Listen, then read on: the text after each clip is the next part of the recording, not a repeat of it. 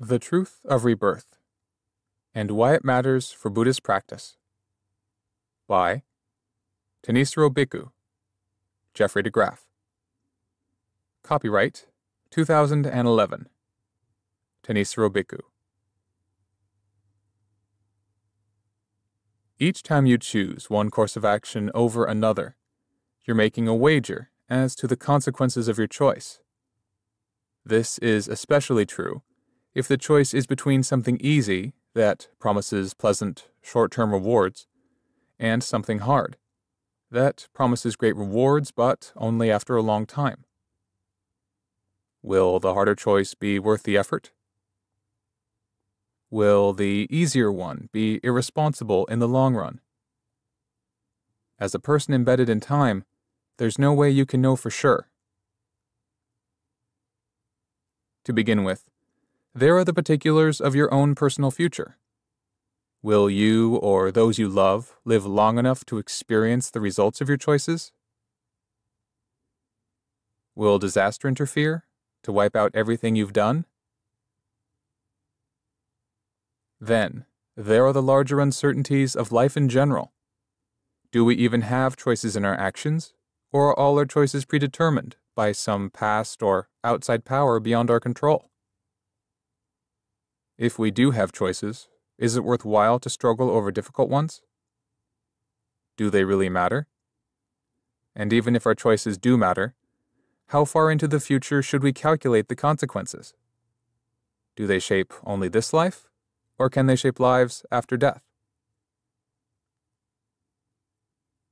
Arguments based on logic or reason have never been able to settle these issues conclusively. The world's great religions don't agree on their answers, and the empirical sciences have no way of answering these questions at all. Yet, we all keep having to grapple with these questions.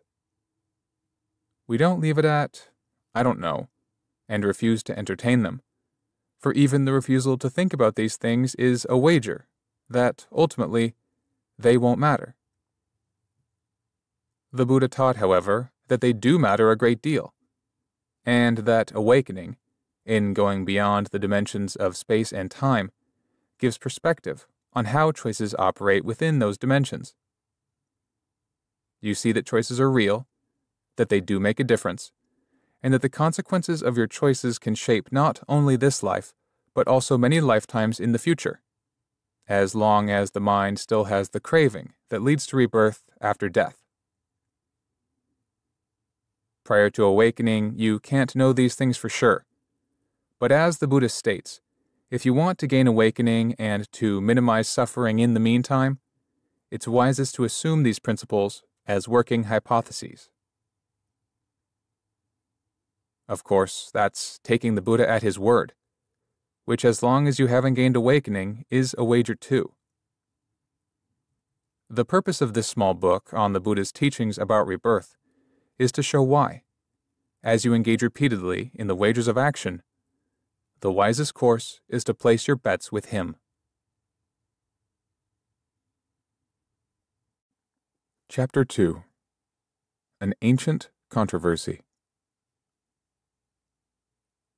It's hard to understand why modern scholars keep repeating the idea that everyone in India during the Buddha's time believed in rebirth. Actually, the Pali discourses provide clear evidence to the contrary, evidence that has been available in Western languages for more than a century. The Buddha frequently referred to two extremes of wrong view that blocked progress on the path eternalism and annihilationism. Annihilationism is the term he used to describe those who denied rebirth. Apparently, he didn't invent the term himself as Majjhima Nikaya 22 reports that other teachers sometimes accused him of being an annihilationist as well. Other passages in the canon depict some of the more colorful ways in which annihilationism was taught in his time. In particular, they mention two people who were famous for their annihilationist views. One was Ajita Kesakambalin, the leader of a materialist sect. Digha Nikaya 2 reports him saying this there is nothing given, nothing offered, nothing sacrificed. There is no fruit or result of good or bad actions.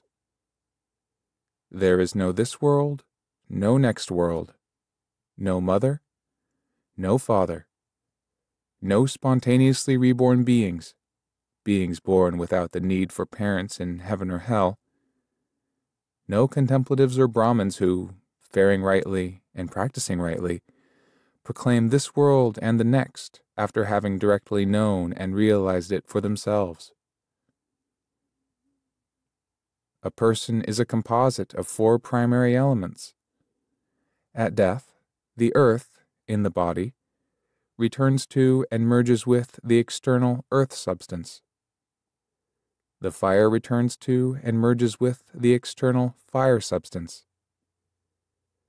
The liquid returns to and merges with the external liquid substance. The wind returns to and merges with the external wind substance. The sense faculties scatter into space. Four men, with the bear as the fifth, carry the corpse. Its eulogies are sounded only as far as the charnel ground. The bones turn pigeon colored.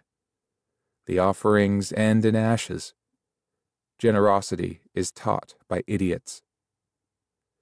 The words of those who speak of existence after death are false, empty chatter. With the breakup of the body, the wise and the foolish alike are annihilated, destroyed. They do not exist after death. Digha Nikaya 2 Another famous annihilationist was a prince named Payasi. Digha Nikaya 23 states that he held a materialist view similar to Ajita Kesakambalin, and that he used his power to execute criminals as an opportunity to conduct gruesome, quasi scientific experiments to test whether any part of a human being survived death.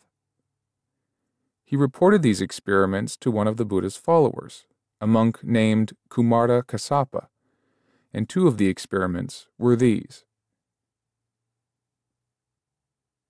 There is the case, Master Kassapa, where my men, having caught a thief, a wrongdoer, present him to me, saying, Here is a thief, a wrongdoer for you, Lord. Decree for him whatever punishment you wish.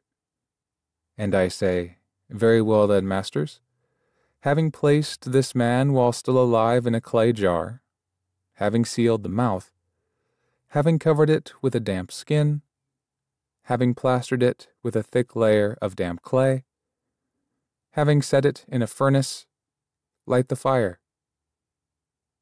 They, responding very well to me, having placed the man while still alive in a clay jar, having sealed the mouth, having covered it with a damp skin, having plastered it with a thick layer of damp clay, having set it in a furnace, light the fire. When we know the man has died, then, removing the jar, breaking through the seal, opening the mouth, we look carefully, thinking, maybe we'll see his soul escaping. But we don't see his soul escaping. There is the case, Master Kassapa, where my men, having caught a thief, a wrongdoer, present him to me, saying, Here is a thief, a wrongdoer for you, Lord. Decree for him whatever punishment you wish. And I say, Very well then, masters.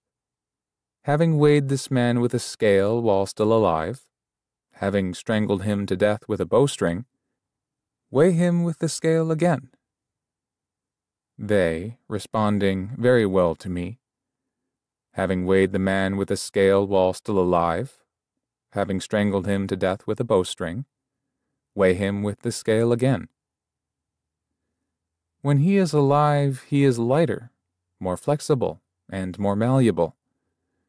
But when he has died, he is heavier, stiffer, and less malleable. This is the reason, Master Kassapa, for which I believe there is no other world. There are no spontaneously reborn beings. there is no fruit or result of good or bad actions. Digha Nikaya 23. Digha Nikaya 1 gives a more comprehensive picture of annihilationist views current at the time, classifying them by how they define the self annihilated at death. There were seven types in all. Three of them defined the self as a body, either the physical body composed of the four material elements, a divine physical body, or an astral body. The view espoused by Ajita Kesakambalin and Prince Payasi would fall under the first of the three. Four other annihilationist views, however, defined the self as formless, experiencing the dimension of infinite space, of infinite consciousness, of nothingness, or of neither perception nor non perception.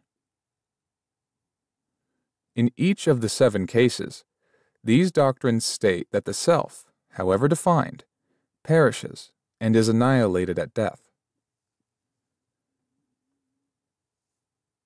As for the non Buddhist schools that affirmed the idea of rebirth, the Pali Canon explicitly names at least four Brahmins, Samyutta Nikaya 42 6, Anguttara Nikaya 10 177,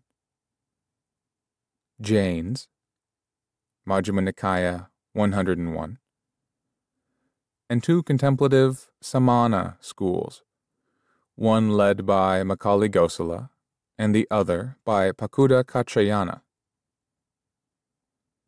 We know from other sources that the Jains and some Brahmins affirmed that action played a role in shaping rebirth. The canon shows, however, that the other two teachers denied that action played any role in rebirth at all. Makkhali Gosala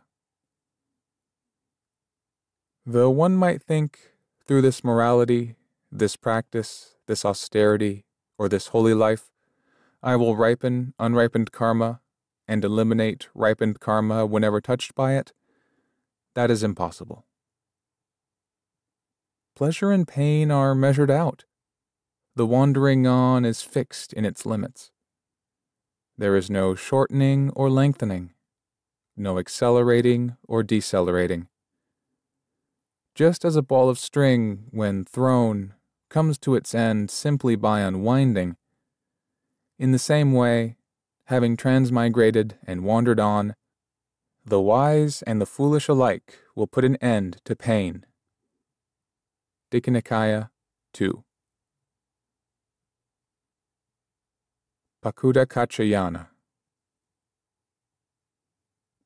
There are these seven substances unmade, irreducible, uncreated, without a creator, barren, stable as a mountain peak, standing firm like a pillar, that do not alter, do not change, do not interfere with one another, are incapable of causing one another pleasure, pain, or both pleasure and pain. Which seven? the earth substance, the liquid substance, the fire substance, the wind substance, pleasure, pain, and the soul as the seventh.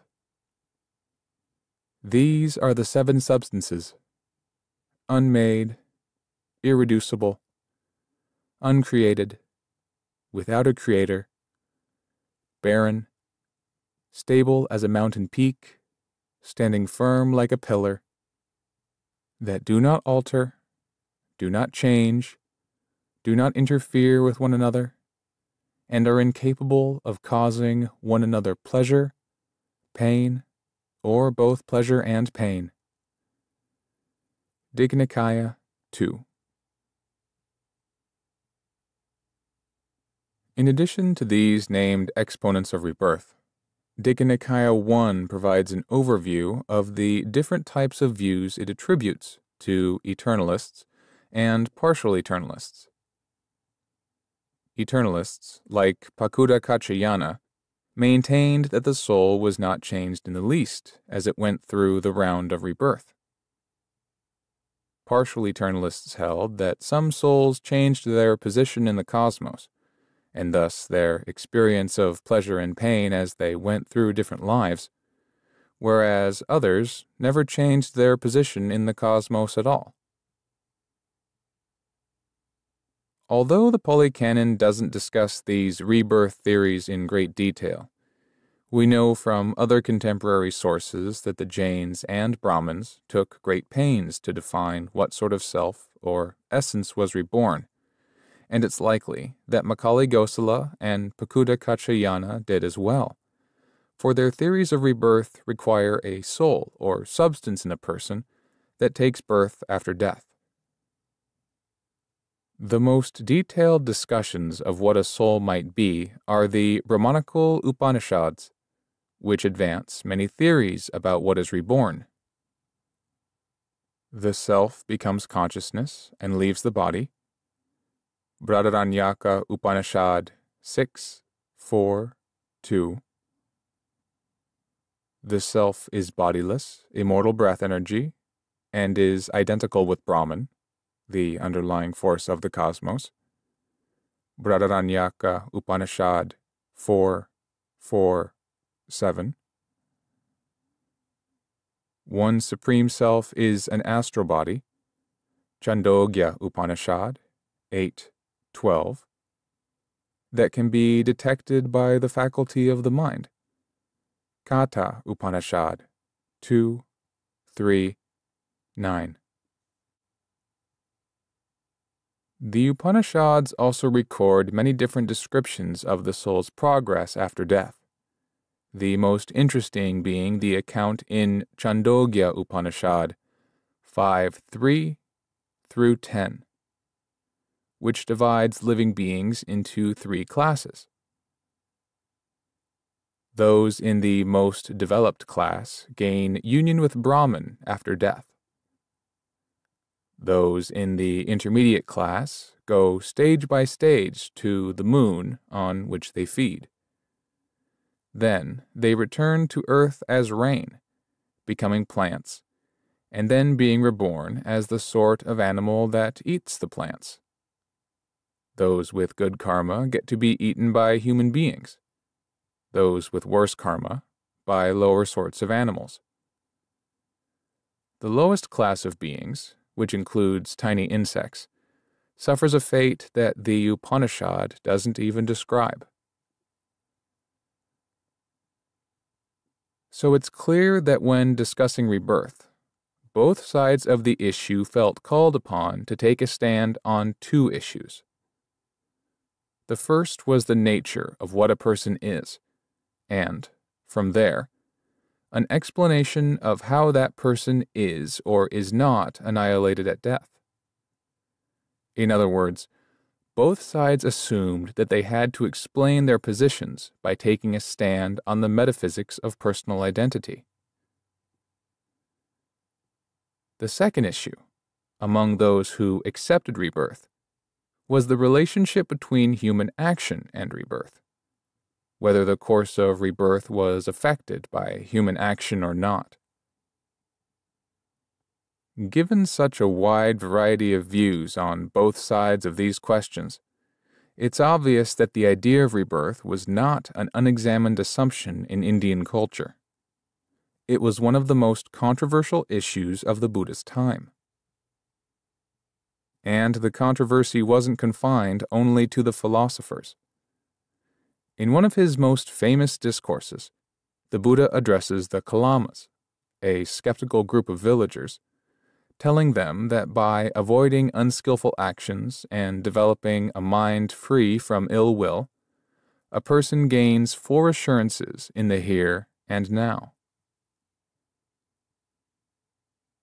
If there is a world after death, if there is the fruit of actions rightly and wrongly done, then this is the basis by which, with the breakup of the body, after death, I will reappear in a good destination, a heavenly world.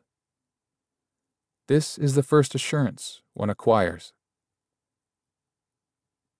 But if there is no world after death, if there is no fruit of actions rightly and wrongly done, then here, in the present life, I look after myself with ease, free from hostility, free from ill will, free from trouble. This is the second assurance one acquires. If evil is done through acting, still I have willed no evil for anyone. Having done no evil action, from where will suffering touch me? This is the third assurance one acquires. But if no evil is done through acting, then I can assume myself pure in both respects. This is the fourth assurance one acquires. Anguttara Nikaya 365. If the idea of rebirth and its connection with karma had been universally accepted in ancient India, the Buddha wouldn't have had to offer these assurances to the Kalama villagers. This means that we can't write off the Buddha's teachings on karma and rebirth simply as an undigested remnant from his culture. In teaching rebirth, he was consciously addressing an issue that was hotly debated in a culture that expected him to articulate clearly his explanation for how and why rebirth did or didn't happen. Chapter 3 Rebirth and Action There is still the question, though, of why the Buddha felt compelled to discuss the issue of karma and rebirth. We know that he refused to take a position on other issues that were hotly contested at the time, such as whether the cosmos was eternal or not, Majjhima Nikaya 63. So, what led him to take a position here? The first part of the answer is that knowledge of rebirth formed an integral part of his awakening experience, playing a role in all three knowledges that led to his attainment of total release. Knowledge about karma played a role in the second and third. In the first knowledge, he recollected many aeons of his own previous lives. When the mind was thus concentrated, purified, bright, unblemished, rid of defilement, pliant, malleable, steady, and attained to imperturbability, I directed it to the knowledge of recollecting my past lives. I recollected my manifold past lives. One birth, two, five, ten, fifty, a hundred, a thousand, a hundred thousand. Many aeons of cosmic contraction, many aeons of cosmic expansion, many aeons of cosmic contraction and expansion. There I had such a name, belonged to such a clan, had such an appearance such was my food, such my experience of pleasure and pain, such the end of my life. Passing away from that state, I reappeared there. There too I had such a name, belonged to such a clan, had such an appearance. Such was my food, such my experience of pleasure and pain, such the end of my life. Passing away from that state, I reappeared here. Thus I remembered my manifold past lives in their modes and details. This was the first knowledge I attained in the first watch of the night. Ignorance was destroyed. Knowledge arose. Darkness was destroyed. Light arose. As happens in one who is heedful ardent, and resolute. Majjhima Nikaya 19 In the second watch of the night, he gained his second knowledge vision of how living beings at large are reborn after death. When the mind was thus concentrated, purified, bright, unblemished, rid of defilement, pliant, malleable, steady, and attained to imperturbability. I directed it to the knowledge of the passing away and reappearance of beings. I saw, by means of the divine eye, purified and surpassing the human, beings passing away and reappearing, and I discerned how they are inferior and superior, beautiful and ugly, fortunate and unfortunate, in accordance with their karma. These beings, who were endowed with bad conduct of body, speech, and mind, who reviled the noble ones, held wrong views, and undertook actions under the influence of wrong views, with the breakup of the body, after death, have reappeared in a plane of deprivation, a bad destination, a lower realm, hell. But these beings, who were endowed with good conduct of body, speech, and mind, who did not revile the noble ones, who held right views and undertook actions under the influence of right views, with the breakup of the body, after death, have reappeared in a good destination, a heavenly world.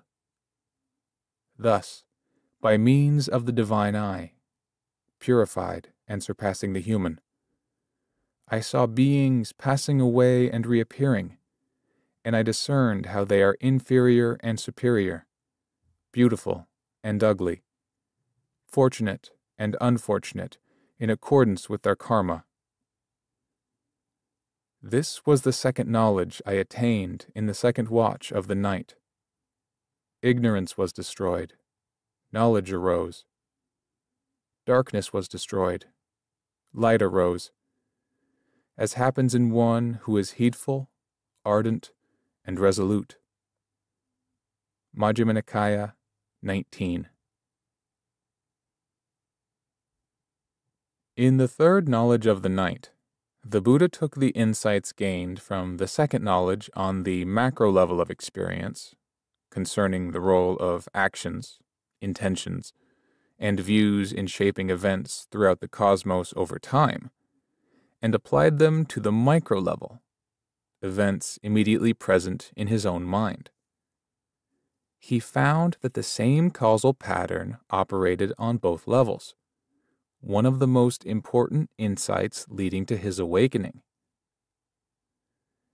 He investigated the micro level even further to discover which intentions and views might lead to an end of intentions, Anguttara Nikaya 4 237, and an end of views, Anguttara Nikaya 10 93, and so to an end of rebirth. And he discovered his answer in views that were expressed in terms of the Four Noble Truths about stress. When the mind was thus concentrated, purified, bright, unblemished, rid of defilement, pliant, malleable, steady, and attained to imperturbability, I directed it to the knowledge of the ending of the effluents. I discerned, as it had come to be, that this is stress. This is the origination of stress. This is the cessation of stress. This is the way leading to the cessation of stress. These are effluents. This is the origination of effluents. This is the cessation of effluents. This is the way leading to the cessation of effluents. My heart, thus knowing, thus seeing, was released from the effluent of sensuality, released from the effluent of becoming, released from the effluent of ignorance. With release, there was the knowledge released. I discerned that birth is ended, the holy life fulfilled, the task done. There is nothing further for this world. This was the third knowledge I attained in the third watch of the night. Ignorance was destroyed. Knowledge arose. Darkness was destroyed. Light arose, as happens in one who is heedful, ardent, and resolute. Majjhima Nikaya 19. In this way, the ending of birth realized through the third knowledge affirmed the truth of the first two knowledges. By employing the right view that leads to actions that put an end to birth, the third knowledge showed that the act of intention is what fuels the process of repeated birth to begin with. This means that knowledge about rebirth and its connection with action was an integral part of the knowledge that precipitated and followed his full release. Still, the fact that his awakening included knowledge about rebirth doesn't fully explain why, when he began teaching, he addressed the topic. After all, on his own testimony, there were many other things he learned in the course of his awakening that he didn't see fit to include in his teaching because they weren't conducive in leading his listeners to their own release. He limited himself to teaching the Four Noble Truths because they are connected with the goal, relate to the rudiments of the holy life, and lead to disenchantment, to dispassion, to cessation to calm, to direct knowledge, to self awakening, to unbinding. Samyutta Nikaya 56:31. This suggests that he saw an intimate connection between the topic of rebirth and the Four Noble Truths. And it turns out that, when we examine these truths, we find that rebirth does play a prominent role in the understanding of stress that forms the first noble truth, in the understanding of the causes of stress, craving and clinging, that form the second noble truth, and in the transcendent right view that guides the path of practice to the end of stress, the fourth noble truth. It also plays a prominent role in the mundane level of right view that provides the context for understanding the meaning and purpose of the Four Noble Truths. The relationship between the two levels of right view, mundane and transcendent, parallels the relationship between the first and second knowledges on the night of his awakening on the one hand, and the third knowledge on the other. Both serve a strategic purpose. Mundane right view, framed in terms of beings and worlds, asserts the efficacy of action, the principle that actions really do have results. This principle opens the possibility that transcendent right view, as a guide to action, can put an end to suffering. Transcendent right view then drops terms of beings and worlds to focus directly on the actions within the mind that cause suffering, so that those actions can be abandoned. This brings suffering to an end, at which point all views are put aside as well. To assert the efficacy of action, mundane right view makes the point against Pakudha Kaccayana, that there is such a thing as action, and against Ajita Kesakambalin and Makkhali Gosala, that it actually engenders results. Because the Four Noble Truths teach that suffering and stress are the results of actions and can be brought to an end through actions, this understanding of action is necessary to explain why the Four Noble Truths offer a realistic picture of what a human being can do to bring suffering to an end. In a direct negation of the annihilationist view that Ajita Kesakambalin expounded, the standard definition of mundane right view states There is what is given, what is offered, what is sacrificed. There are fruits and results of good and bad actions. There is this world and the next world. There is mother and father. There are spontaneously reborn beings. There are contemplatives and Brahmins who, faring rightly and practicing rightly, proclaim this world and the next after having directly known and realized it for themselves. Majjhima Nikaya 117 The phrase next world in this passage refers to life after death. The reference to what is given, etc., asserts that these actions actually are the results of conscious choices and do bear fruit as well being and happiness. The reference to contemplatives and Brahmins who know both worlds is a statement of conviction one may not know the next world on one's own, but one is convinced that there are those who have trained their minds to the point where they know it directly.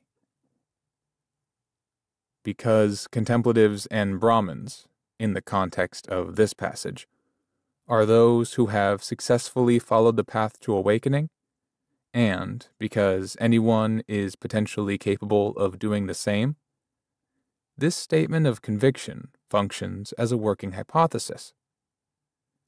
You take these matters on faith until you can confirm them for yourself. One reason the Buddha recommended conviction in rebirth as a useful working hypothesis is that, as we have noted, he had to teach that skillful human action was powerful and reliable enough to put an end to suffering. And his teaching on the consequences of skillful and unskillful action would be incomplete and therefore indefensible without reference to rebirth. This is because the distinction he draws between skillful and unskillful is based on the consequences of the actions. The working out of karma may be complex, but skillful actions always lead in the direction of happiness and well being. Unskillful actions always lead in the direction of suffering and harm. This distinction provides not only the definition of these concepts, but also the motivation for abandoning unskillful actions and developing skillful ones in their place. This motivation is necessary, for while people are not innately bad, they are also not innately good. When heedless of the consequences of their actions, they behave unskillfully. This is why, as the Buddha noted, heedfulness lies at the root of all skillfulness. Anguttara Nikaya 10:15.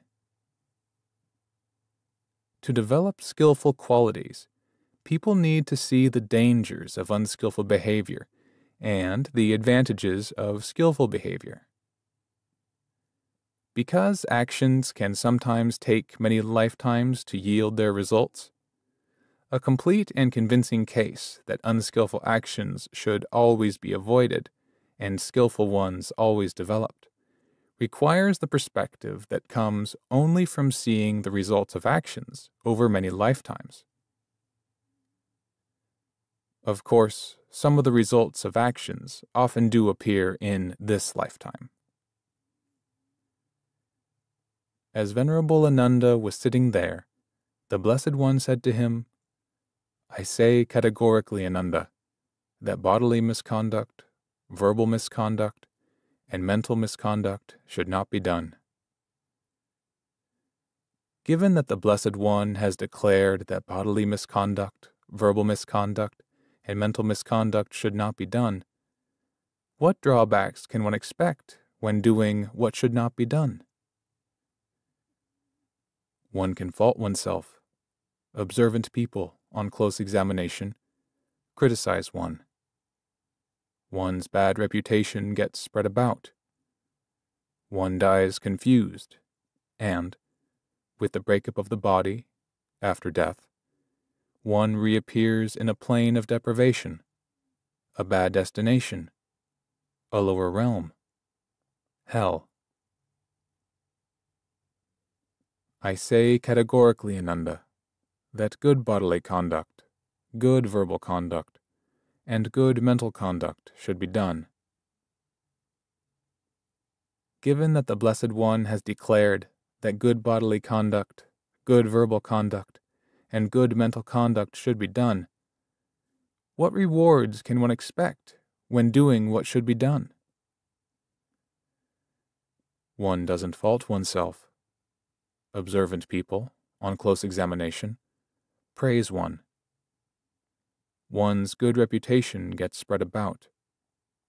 One dies unconfused, and, with the breakup of the body, after death, one reappears in a good destination, a heavenly world. Anguttara Nikaya 2.18 For people who have trouble assuming a life after death, the consequences of action that are visible in this lifetime might seem enough to engender heedfulness. However, the Buddha notes that misconduct often leads to rewards in the present life, and he heaps ridicule on those who insist that the results of good and bad actions always appear in the here and now. There are headmen, some contemplatives and Brahmins who hold a doctrine and view like this. All those who kill living beings experience pain and distress in the here and now. All those who take what is not given, who engage in illicit sex, who tell lies experience pain and distress in the here and now. Now there is the case where a certain person is seen garlanded and adorned, freshly bathed and groomed, with hair and beard trimmed, enjoying the sensualities of women as if he were a king. They ask about him, My good man, what has this man done that he has been garlanded and adorned as if he were a king? They answer, My good man, this man attacked the king's enemy and took his life. The king, gratified with him, rewarded him. That is why he is garlanded and adorned, as if he were a king. Then there is the case where a certain person is seen bound with a stout rope, with his arms pinned tightly against his back, his head shaved bald, marched to a harsh sounding drum from street to street, crossroads to crossroads, evicted through the south gate, and beheaded to the south of the city. They ask about him. My good man, what has this man done that he is bound with a stout rope, and beheaded to the south of the city? They answer, My good man, this man, an enemy of the king, has taken the life of a man or a woman. That is why the rulers, having had him seized, inflicted such a punishment upon him. The Buddha then cites similar cases where some people are rewarded for stealing, engaging in illicit sex, and lying, whereas other people are punished. Now, what do you think, Headman? Have you ever seen or heard of such a case? I have seen this, Lord, have heard of it, and will hear of it again in the future. So, Headman, when those contemplatives and Brahmins who hold a doctrine and view like this say, All those who kill living beings etc., experience pain and distress in the here and now? Do they speak truthfully or falsely? Falsely, Lord. And those who babble empty falsehood, are they moral or immoral? Immoral, Lord. And those who are immoral and of evil character, are they practicing wrongly or rightly? Wrongly, Lord. And those who are practicing wrongly, do they hold wrong view or right view? Wrong view, Lord. And is it proper to place confidence in those who hold wrong view? No, Lord. Samyutta Nikaya 42:13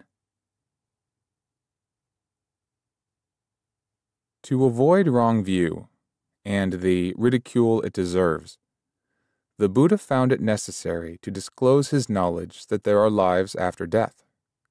And he had to include the perspective not just of one lifetime after death, but of many.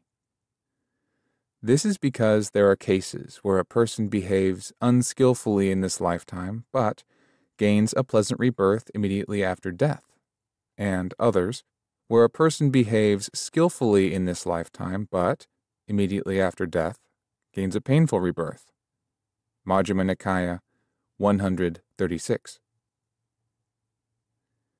A meditator capable of seeing only one lifetime after death, seeing cases like these, would misunderstand the consequences of action.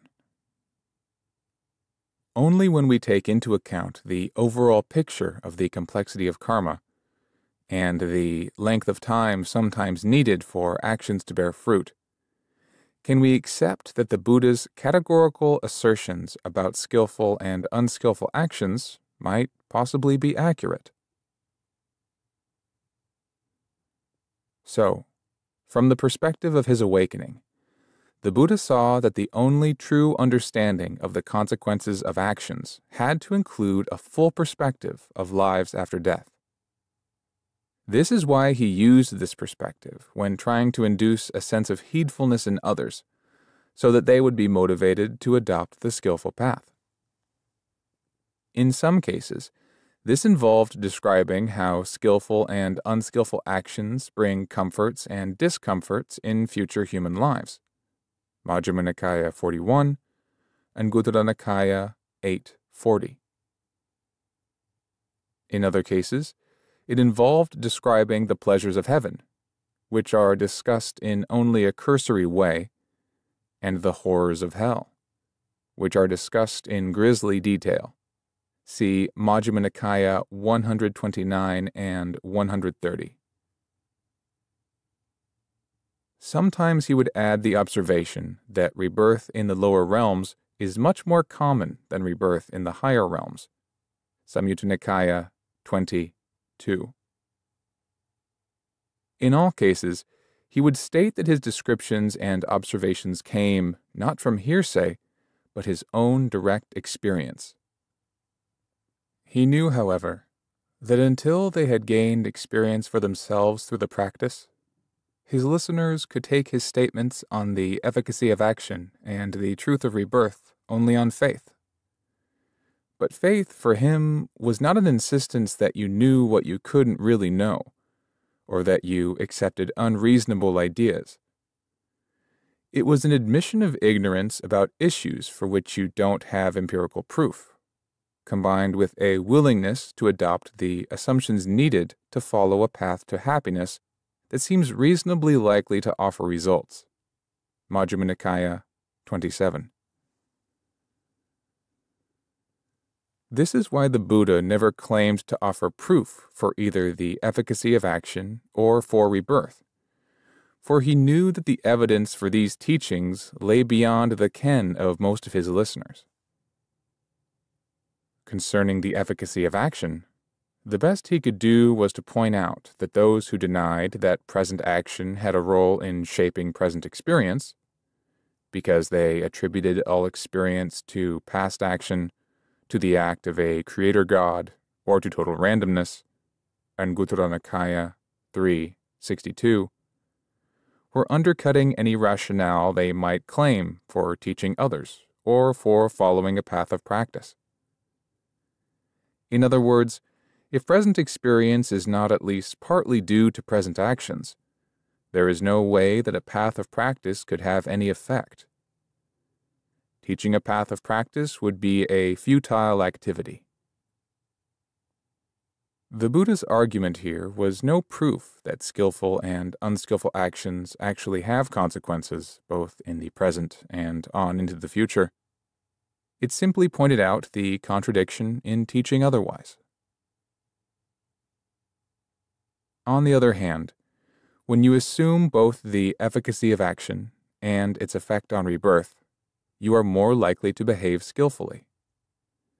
To assume otherwise makes it easy to find excuses for lying, killing, or stealing when faced with poverty or death. And from there, it's easy to extend the excuses to cover times when it's simply more convenient to lie, etc., than to not. But if you assume that your actions have results, and those results will reverberate through many lifetimes, it's easier to stick to your principles not to lie, kill, or steal, even under severe duress. And even though you may not know whether these assumptions are true, you cannot plan an action without implicitly wagering on the issue. This is why simply stating, I don't know, is not an adequate response to the questions of rebirth and the efficacy of karma. The attitude behind it may be honest on one level, but it's dishonest in thinking that this is all that needs to be said, for it ignores the fact that you have to make assumptions about the possible results of your actions every time you act. It's like having money.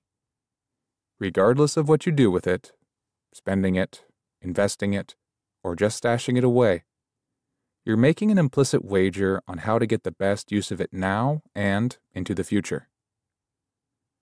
Your investment strategy can't stop with, I don't know. If you have any wisdom at all, you have to consider future possibilities and take your chances with what seems to be the safest and most productive use of the resources you've got. So it is with all of our actions. Given that we have to wager one way or another all the time on how to find happiness, the Buddha stated that it's a safer wager to assume that actions bear results that can affect not only this lifetime, but also lifetimes after this, than it is to assume the opposite. In Majjhima Nikaya 60, for instance, he pointed out that anyone who adheres to the annihilationist view espoused by Ajita Kesakambalin would not be expected to avoid unskillful behavior, whereas those who hold to the opposite, mundane right view, would be expected to avoid unskillful behavior. Then he said of the first group With regard to this, an observant person considers thus If there is no next world, then, with the breakup of the body, after death, this venerable person has made himself safe. But if there is the next world, then this venerable person, with the breakup of the body, after death, will reappear in a plane of deprivation, a bad destination, a lower realm, hell. Even if we didn't speak of the next world, and there weren't the true statement of those venerable contemplatives and Brahmins who assert the existence of the next world. This venerable person is still criticized in the here and now by the observant as a person of bad habits and wrong view, one who holds to a doctrine of non existence.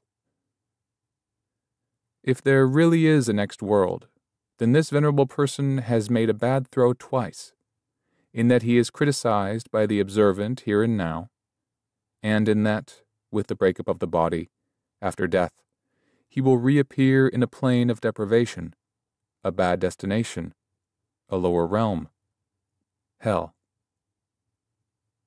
Thus, this safe bet teaching, when poorly grasped and poorly adopted by him, covers only one side, and leaves behind the possibility of the skillful. Majjhima Nikaya 60. As for the second group, those who hold to mundane right view and act on it, he said this With regard to this, an observant person considers thus If there is the next world, then this venerable person, with the breakup of the body, after death, will reappear in a good destination, a heavenly world. Even if we didn't speak of the next world, and there weren't the true statement of those venerable contemplatives and Brahmins, this venerable person is still praised in the here and now by the observant as a person of good habits and right view, one who holds to a doctrine of existence. If there really is a next world, then this venerable person has made a good throw twice, in that he is praised by the observant here and now, and in that, with the breakup of the body, after death, he will reappear in a good destination, a heavenly world. Thus, this safe bet teaching, when well grasped and well adopted by him, covers both sides and leaves behind the possibility of the unskillful. Majjhima Nikaya 60. These arguments don't prove the efficacy of action or the truth of rebirth, but they do show that it is a safer, more reasonable, and more honorable policy to assume the truth of these teachings than it would be to assume otherwise. The Buddha didn't press these arguments beyond that point. In other words, he left it to his listeners to decide whether they wanted to recognize that action is an investment that, like all investments, incurs risks. And he left it to them to decide how they wanted to calculate the risks and potentials that action might involve now and into the future. He didn't ask that his listeners all commit themselves to an unquestioning belief in the possibility that their actions might lead to rebirth, but he wasn't interested in teaching anyone who rejected that possibility outright. As we've already noted, he saw that heedfulness lay at the root of all skillful qualities. If a listener couldn't be persuaded to develop an appropriate level of heedfulness around the risks of action, any further teaching would be a waste of time. Chapter 4 The Noble Truth of Rebirth To move his listeners from mundane right view to transcendent right view, the Buddha used the teaching on rebirth to inspire not only a sense of heedfulness in his listeners, but also a sense of samvega, dismay and terror at the prospect of not gaining release from rebirth. Long have you repeatedly experienced the death of a mother. The tears you have shed over the death of a mother while transmigrating and wandering this long, long time, crying and weeping from being joined with what is displeasing, being separated from what is pleasing, are greater than the water in the four great oceans. Long have you repeatedly experienced the death of a father, the death of a brother, the death of a sister, the death of a son, the death of a daughter, loss with regard to relatives, loss with regard to wealth, loss with regard to disease, the tears you have shed over loss with regard to disease while transmigrating and wandering this long, long time, crying and weeping from being joined with what is displeasing, being separated from what is pleasing, are greater than the water in the four great oceans. Why is that? From an inconceivable beginning comes transmigration. A beginning point is not evident though beings hindered by ignorance and fettered by craving are transmigrating and wandering on. Long have you thus experienced stress, experienced pain, experienced loss, swelling the cemeteries, enough to become disenchanted with all fabricated things, enough to become dispassionate, enough to be released.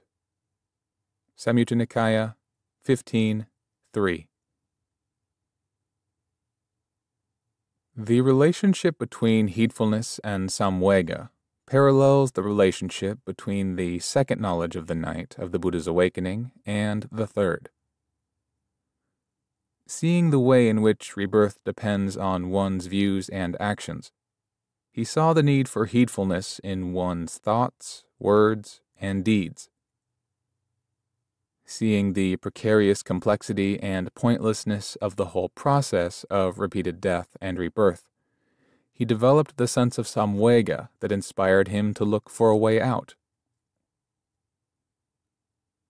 The way he chose, and that gave results, was to take the lessons about rebirth obtained in his first two knowledges and to apply them to the actions of the mind in the present moment and to their effects both in the present and over time. In doing so, he arrived at the Four Noble Truths as the form of right view that would lead to total release and the end of rebirth. The connection between rebirth and the First Noble Truth is reflected in the fact that this truth lists birth as one of the forms of suffering that the Fourth Noble Truth brings to an end. In fact, birth stands at the beginning of the list. Now, this, monks, is the noble truth of stress. Birth is stressful. Aging is stressful. Death is stressful. Sorrow, lamentation, pain, distress, and despair are stressful.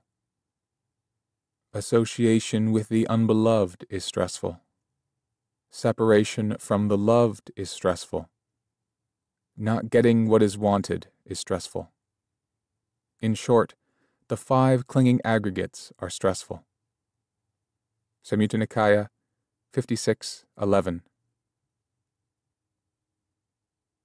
The connection between rebirth and the second noble truth is reflected in the fact that this truth defines the cause of suffering as any form of craving or clinging that leads to further becoming, which is the condition for further birth. And this, monks, is the noble truth of the origination of stress, the craving that makes for further becoming, accompanied by passion and delight, relishing now here and now there. In other words, craving for sensuality, craving for becoming, craving for non becoming. Samyutta Nikaya 56.11 Writers who reject the idea that the Buddha is talking about the rebirth of a person in these two noble truths tend to argue in one of two ways. Either that the references to birth don't imply rebirth, or that they refer to rebirth on the micro level of momentary mind states and not on the macro level of beings or persons over time. Neither interpretation, however, does full justice to what the Buddha had to say. Writers in the first group have made much of the fact that the Buddha used the term birth rather than rebirth in the First Noble Truth, concluding that rebirth is not necessarily meant here. This conclusion, though, ignores the relationship of the first truth to the others. All the forms of suffering listed in the first truth are caused by the second truth and brought to an end by the fourth. If birth were a one shot affair, there would be, for a person already born, no point in looking for the causes of the suffering of birth, and no way that the fourth truth could put an end to them. This point is especially clear when we look at the Buddha's own account of how he explored the causes of suffering after having seen, in his first two knowledges, the sufferings caused by repeated birth. He looked into the possible causes of birth and traced them deep into the mind. Monks, before my awakening, when I was still just an unawakened bodhisattva, the realization came to me how this world has fallen on difficulty. It is born, it ages, it dies, it falls away and rearises, but it does not discern the escape from this stress, from this aging and death. Oh, when will it discern the escape from this stress, from this aging and death? Then the thought occurred to me Aging and death exist when what exists? From what, as a requisite condition, come aging and death? From my appropriate attention, there came the breakthrough of discernment. Aging and death exist when birth exists. From birth, as a requisite condition, comes aging and death. Then the thought occurred to me Birth exists when what exists? From what, as a requisite condition, comes birth? From my appropriate attention, there came the breakthrough of discernment. Birth exists when becoming exists. From becoming, as a requisite condition, comes birth. Becoming exists when what exists? Clinging, sustenance exists when what exists? Craving exists when what exists? Feeling exists when what exists. Contact exists when what exists.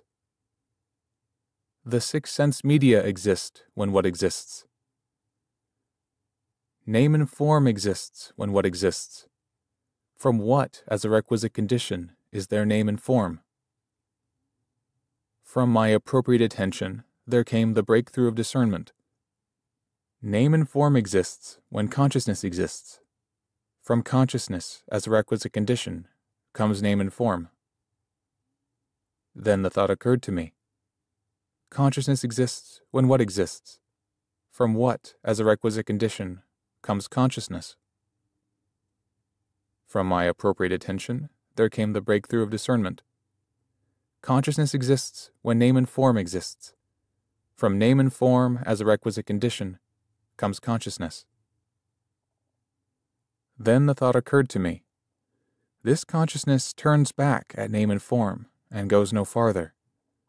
It is to this extent that there is birth, aging, death, falling away and reappearing. In other words, from name and form as a requisite condition comes consciousness.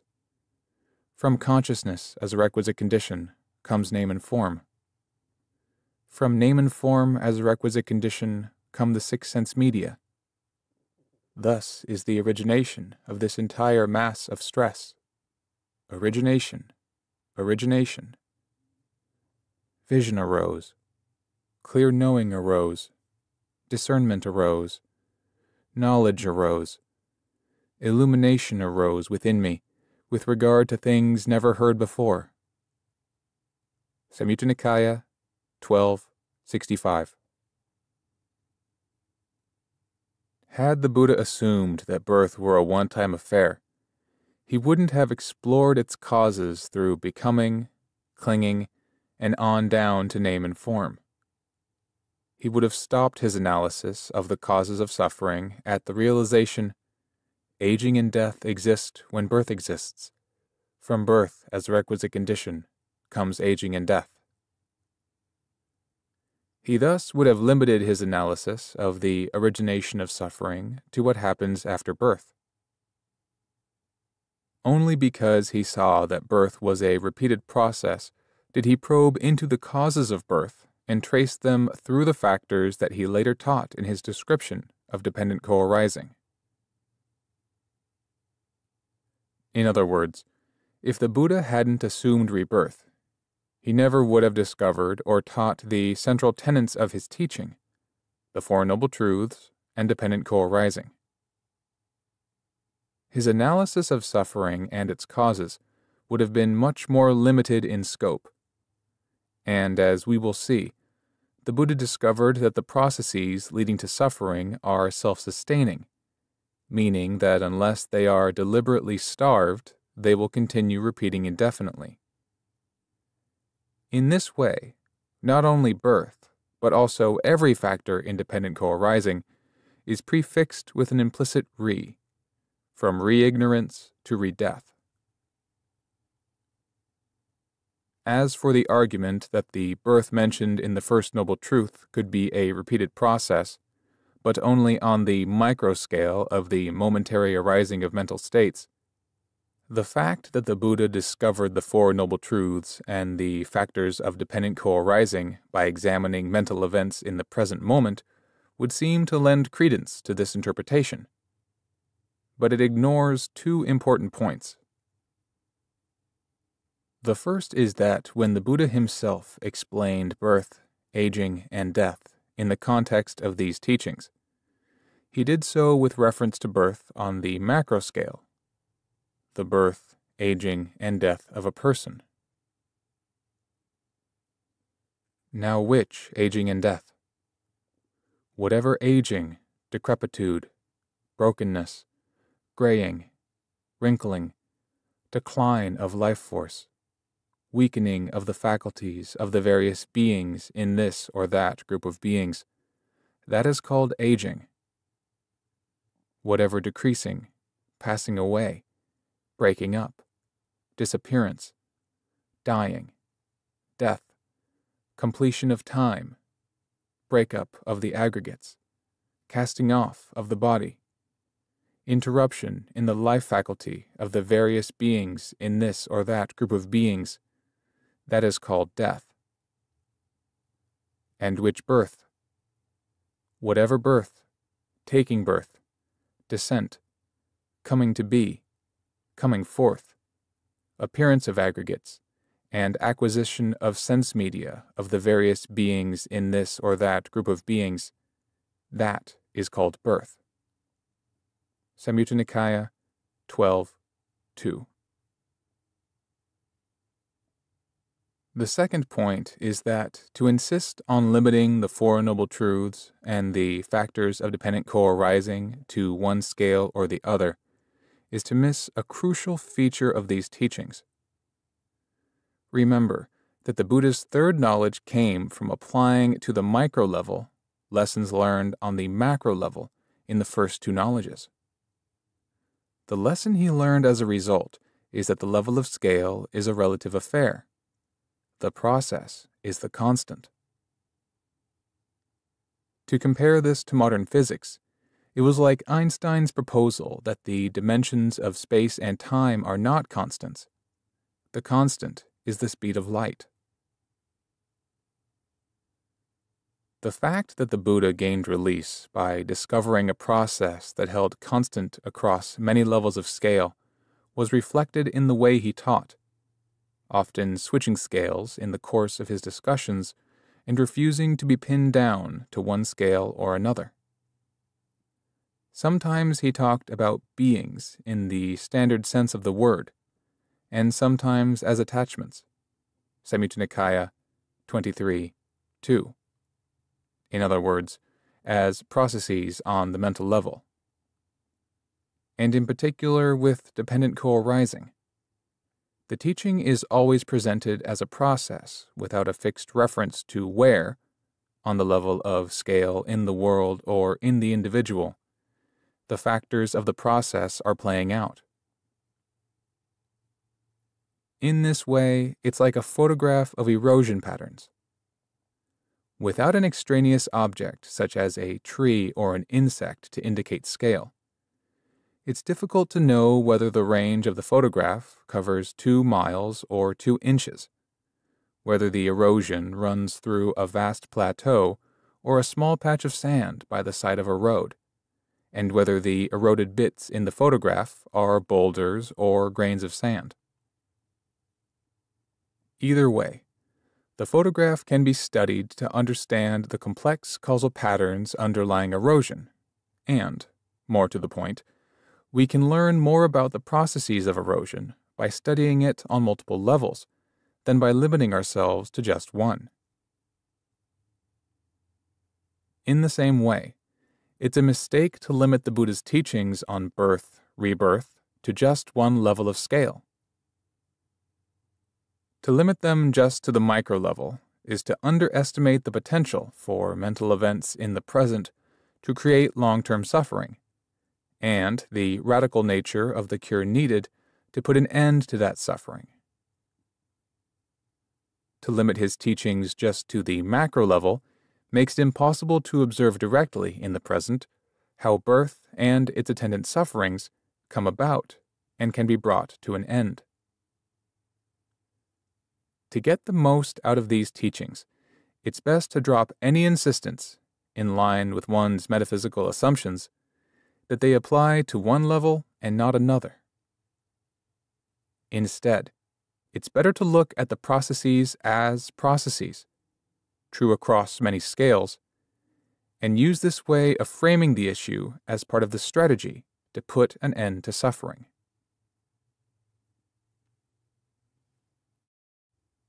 Chapter 5 An Appropriate Frame. As part of his policy of not getting pinned down on issues of scale when presenting the process of rebirth, the Buddha was careful to avoid an issue that animated his contemporaries when they discussed rebirth. The metaphysics of what a person is and what does or doesn't get reborn after death. In other words, he refused to explain whether any what underlay the experience of rebirth. He simply talked about how the experience happened and what could be done to end it. In modern philosophy, this approach is called phenomenology, talking about the phenomena of experience simply in terms of direct experience without making reference to any underlying reality that may or may not stand behind that experience. The Buddha was a radical phenomenologist in that he dealt with experience on its own terms. He was a pragmatist in that he adopted this approach because he saw that it worked in bringing suffering to an end. The canon reports that the members of the other schools, and even some of his own monks, often expressed frustration over this aspect of the Buddha's approach. Majjhima Nikaya 63, Anguttara Nikaya 1093. In their eyes, the whole question of rebirth revolved around the what that did or didn't get reborn. Either the life force was identical with the body, thus allowing no way for rebirth to occur after the body dies, or else there was a soul or life force separate from the body, which either died along with the body or else survived death. Yet when the Buddha's contemporaries pressed him to take sides on this question and related questions, he consistently put them aside. The Blessed One said, From ignorance as a requisite condition come fabrications. From becoming as a requisite condition comes birth. When this was said, a certain monk said to the Blessed One, Which is the birth, Lord, and whose is the birth? Or the birth of what? Not a valid question, the Blessed One said. If one were to ask, which is the birth, and whose is the birth, and if one were to say, birth is one thing, and the birth is that of something, someone else, both of them would have the same meaning, even though their words would differ. When there is the view that the soul is the same as the body, there is no leading the holy life. And when there is the view that the soul is one thing and the body another, there is no leading the holy life. Avoiding these two extremes, the Tathagata teaches the Dhamma via the middle. From becoming as a requisite condition comes birth. Samyutta Nikaya 1235. Monks, there are these four nutriments for the maintenance of beings who have come into being, or for the support of those in search of a place to be born. Which four? Physical food, gross or refined. Contact as the second. Intellectual intention the third. And consciousness the fourth. These are the four nutriments for the maintenance of beings who have come into being, or for the support of those in search of a place to be born. When this was said, Venerable Moliya Phagguna said to the Blessed One, Lord, who feeds on the consciousness nutriment? Not a valid question, the Blessed One said. I don't say feeds. If I were to say feeds, then who feeds on the consciousness nutriment would be a valid question. But I don't say that. When I don't say that, the valid question is consciousness nutriment for what? And the valid answer is consciousness nutriment for the production of future coming into being.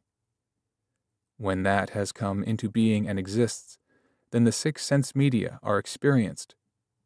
From the six sense media, as a requisite condition, comes contact. Samyutta Nikaya 12 12. The tendency to read a thing or no thing behind the processes of dependent co-arising is still alive with us today. Many people have assumed that the Buddha taught that there is no self, which means that there would be no thing behind the process of dependent co-arising and nothing to be reborn. Many others have assumed that he taught a true self, underlying our false sense of an individual self, and therefore underlying the process. Both assumptions, however, are misinformed.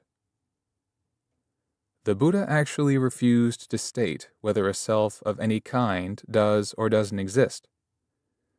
The one recorded time he was asked point blank whether the self exists, he declined to answer. Samyutta Nikaya 44.10. This was because he saw that questions of this sort interfere with the path of practice leading to the end of suffering. As he said in Majjhima Nikaya 2, to focus on such questions as Am I? Am I not? What am I? What was I in the past? What will I be in the future? is a form of inappropriate attention, the kind of attention that ignores the Four Noble Truths and actually leads to further suffering. So, if a worldview demands an explanation of the what behind rebirth, as we find not only in the worldviews of ancient India, but also in many modern worldviews as well, it's simply a form of inappropriate attention that perpetuates suffering if you want to put an end to suffering, you have to put the metaphysical demands of your worldview aside. The Buddha found it more appropriate and fruitful to focus instead on the process of how birth is repeatedly generated by factors immediately present to awareness throughout life, and directly experienced by factors in the present moment. This is because these factors lie enough under your control to turn them toward the ending of repeated rebirth. An understanding of the process as process, and in particular, as an example of the process of dependent co-arising, can actually contribute to the end of suffering. It gives guidance in how to apply the tasks appropriate for the Four Noble Truths to the process of birth in other words, comprehending suffering, abandoning its cause, realizing its cessation, and developing the path to its cessation. When these duties have been completely mastered, they can bring birth to an end by abandoning its causes, thus opening the way to the ultimate happiness that comes when the mind is no longer entangled in the process of birth. The Buddha used several models for explaining the process of dependent co-arising, with each model listing a sequence of interdependent factors. In the most standard model, the factors are these. Ignorance of how to apply the Four Noble Truths. Fabrications, intentional acts shaping the experience of body, speech, and mind consciousness, at the six senses, counting the mind as the sixth. Name and form, mental phenomena, intention, attention, feeling, perception, and contact, and physical phenomena, the body as experienced from within in terms of energy, warmth, liquidity, and solidity. The six sense media, counting the mind as the sixth. Contact, at the six sense media. Feeling, of pleasure, pain, or neither pleasure nor pain, based on that contact. Craving, for sensuality, for becoming, or for non becoming. Clinging to sensuality, habits and practices, views, and doctrines of the self. Becoming the assumption of an identity in a particular world of experience on the level of sensuality, form, or formlessness and birth into that identity, followed by the suffering of aging, illness, and death.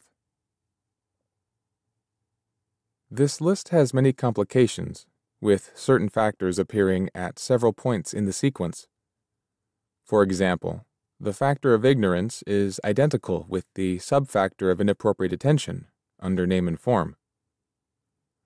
The list also contains many feedback loops, sequences where an effect returns to influence the next instance of its cause. As we will see, the existence of feedback loops in the process is what makes it self sustaining and gives it the potential to continue indefinitely. For the moment, however, we can focus on one of dependent co-arising's most obvious features, its lack of outside context. It avoids any reference to the presence or absence of a self or a world around the processes it describes. Instead, it forms the context for understanding selves and worlds. In other words, it shows how ideas of such metaphysical contexts are created and clung to, and what happens as a result. In particular, it shows in detail how the acts of creating and clinging to metaphysical assumptions about the existence or non existence of the self or the world actually lead to birth and suffering. This means that dependent co arising, instead of existing in a metaphysical context, provides the phenomenological context for showing why metaphysical contexts are best put aside. The important factors leading from metaphysical assumptions to rebirth are name, contact, clinging, and becoming. Under name is the subfactor of attention, which Majjhima Nikaya 2, as we have seen, depicts as the act of choosing which questions to ask. When attention is inappropriately directed to questions of the metaphysics of identity, about what you are or whether you exist.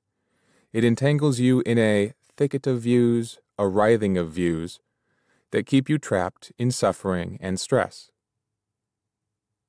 As for views of what the world is and where it came from, the Buddha shows that these all derive from contact at the six senses. Digha Nikaya 1, Samyutta Nikaya 3582. These views about self and world then become objects of clinging, which in turn gives rise to becoming, the act of taking on an identity within a particular world of experience defined around the craving underlying that clinging. Becoming, in turn, is the condition for repeated birth. The antidote to this process is to direct attention appropriately to identifying the Four Noble Truths as they're experienced. This form of attention enables you to see the act of view formation as a process, to see the drawbacks of the process, and so to abandon any clinging to the content of those views. This removes the conditions for further becoming and birth. Even though the Four Noble Truths count as a type of view, their ability to see all views, even themselves, as part of this process means that they contain the seeds for their own transcendence. Anguttara Nikaya 1093. So if you want to get the most use out of dependent co-arising, then rather than viewing dependent co-arising as occurring within the context of self and world, you do better to view ideas of self and world as occurring within the context of dependent co-arising. The advantage of adopting this approach is that it focuses attention away from things for which you aren't responsible, metaphysical entities that may or may not underlie experience, and points instead to events for which you are, acts of attention, and the various forms of intention under fabrications and name.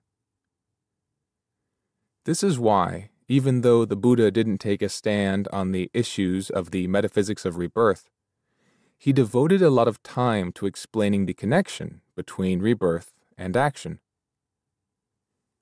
Action is what leads to rebirth, but action, skillful action, can also bring it to an end. When you adopt this perspective, you focus directly on actions as they are experienced as factors, parts of a causal sequence. And this, in turn, makes it easier to apply the duties of the Four Noble Truths with greater precision. In other words, it helps you notice which factors, such as ignorance, cause suffering and so should be abandoned by replacing them with right view, which ones, such as attention and intention under name, can be converted to the path to the end of suffering, and so should be developed before they too are abandoned, and which ones, such as clinging, becoming, and birth, constitute suffering, and so should be comprehended to the point of disenchantment and dispassion, leading to the realization of the end of suffering. Release.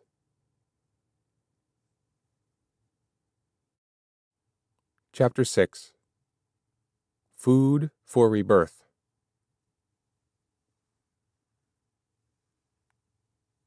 What does it mean to comprehend birth as an instance of suffering, and what is accomplished by viewing it in that way?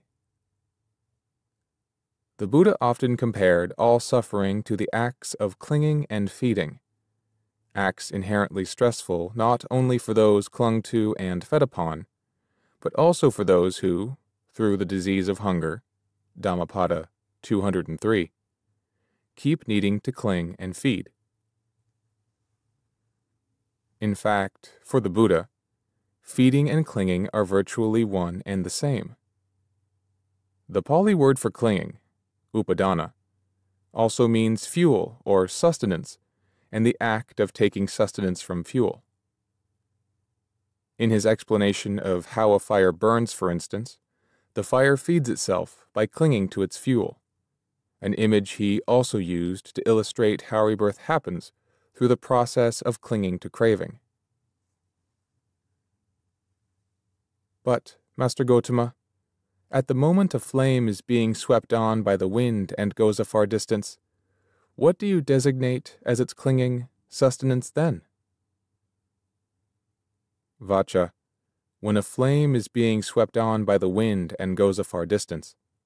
I designate it as wind sustained, for the wind is its clinging sustenance at that time.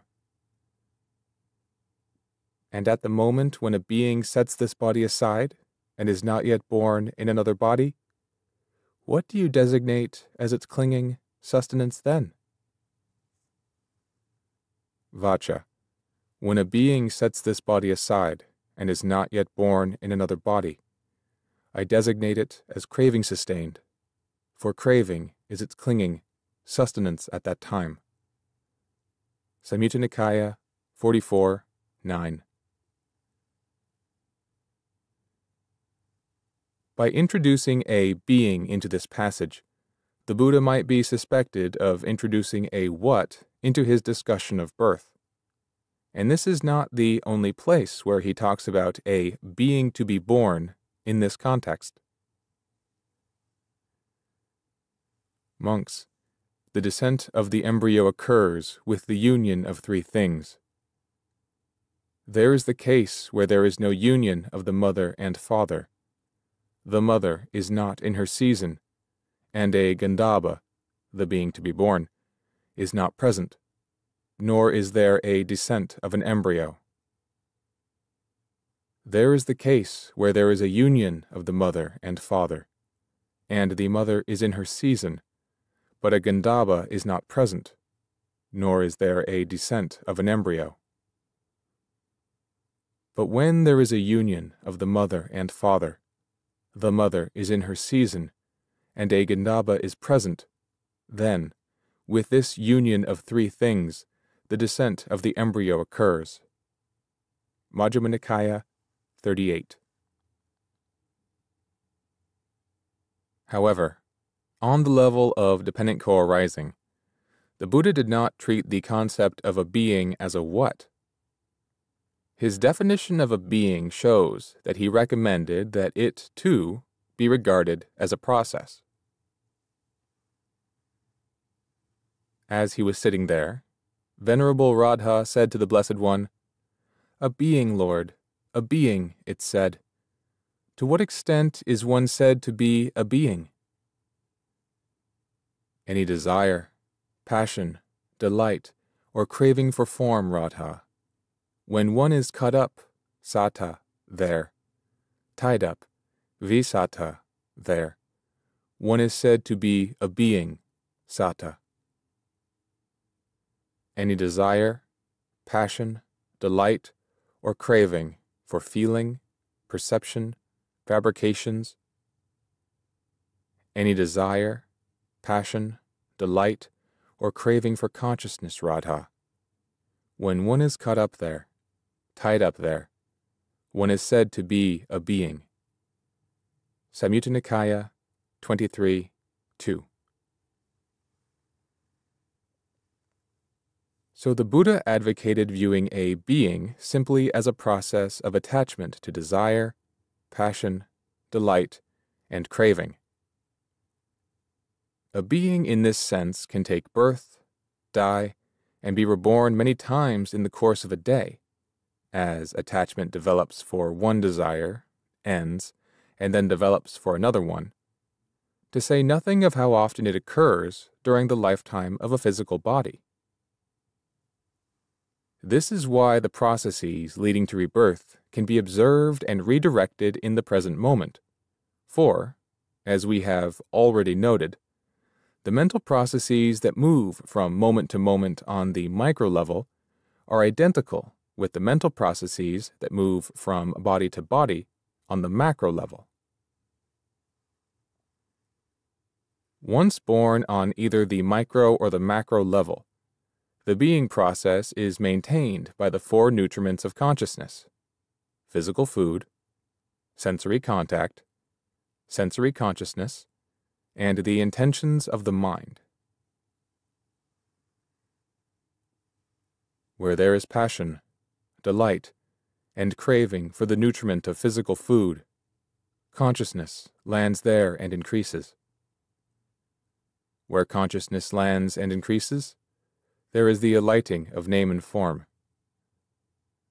Where there is the alighting of name and form, there is the growth of fabrications.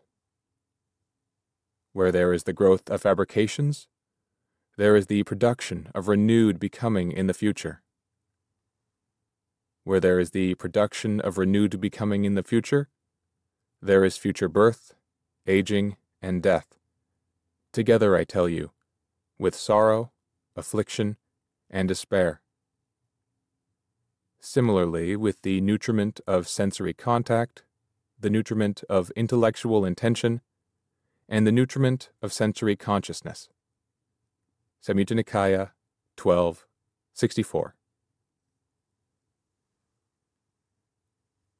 There is a complex relationship between craving and nutriment in sustaining this process. On the one hand, as the above passage shows, craving has to be actively present before consciousness will land on any of the forms of nutriment.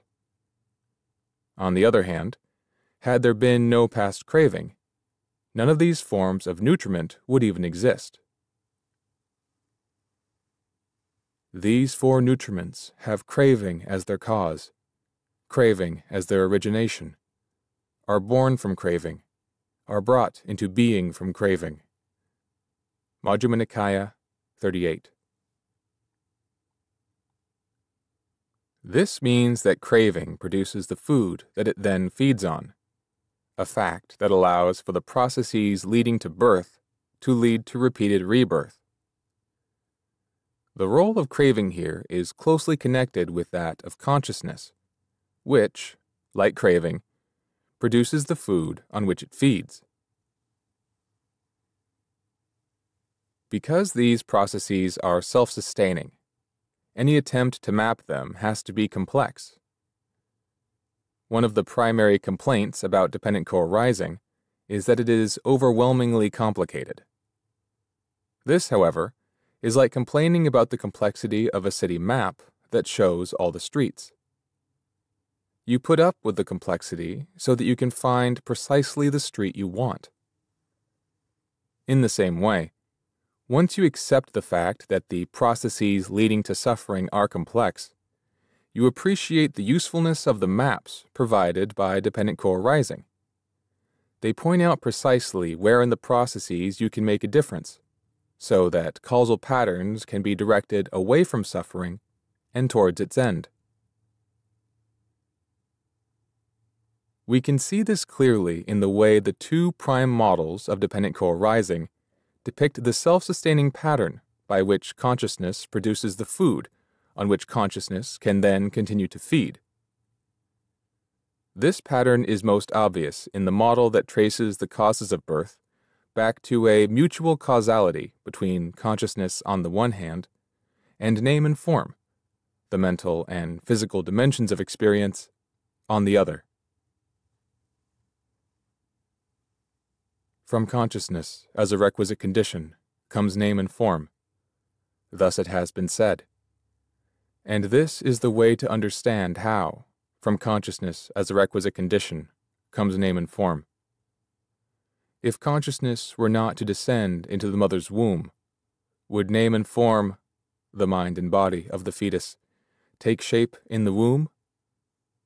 No, Lord. If, after descending into the womb, consciousness were to depart, would name and form be produced for this world? No, Lord.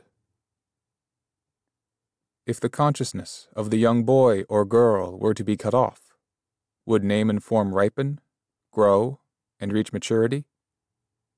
No, Lord. Thus, this is a cause, this is a reason, this is an origination, this is the requisite condition for name and form. Consciousness. Digha Nikaya 15. In playing a part in the process of birth and growth, consciousness also depends on the phenomena it sustains. If consciousness were not to gain a foothold in name and form, would a coming into play of the origination of birth, aging, death, and stress in the future be discerned? No, Lord. Thus, this is a cause, this is a reason, this is an origination, this is a requisite condition for consciousness. Name and form. Digha Nikaya 15.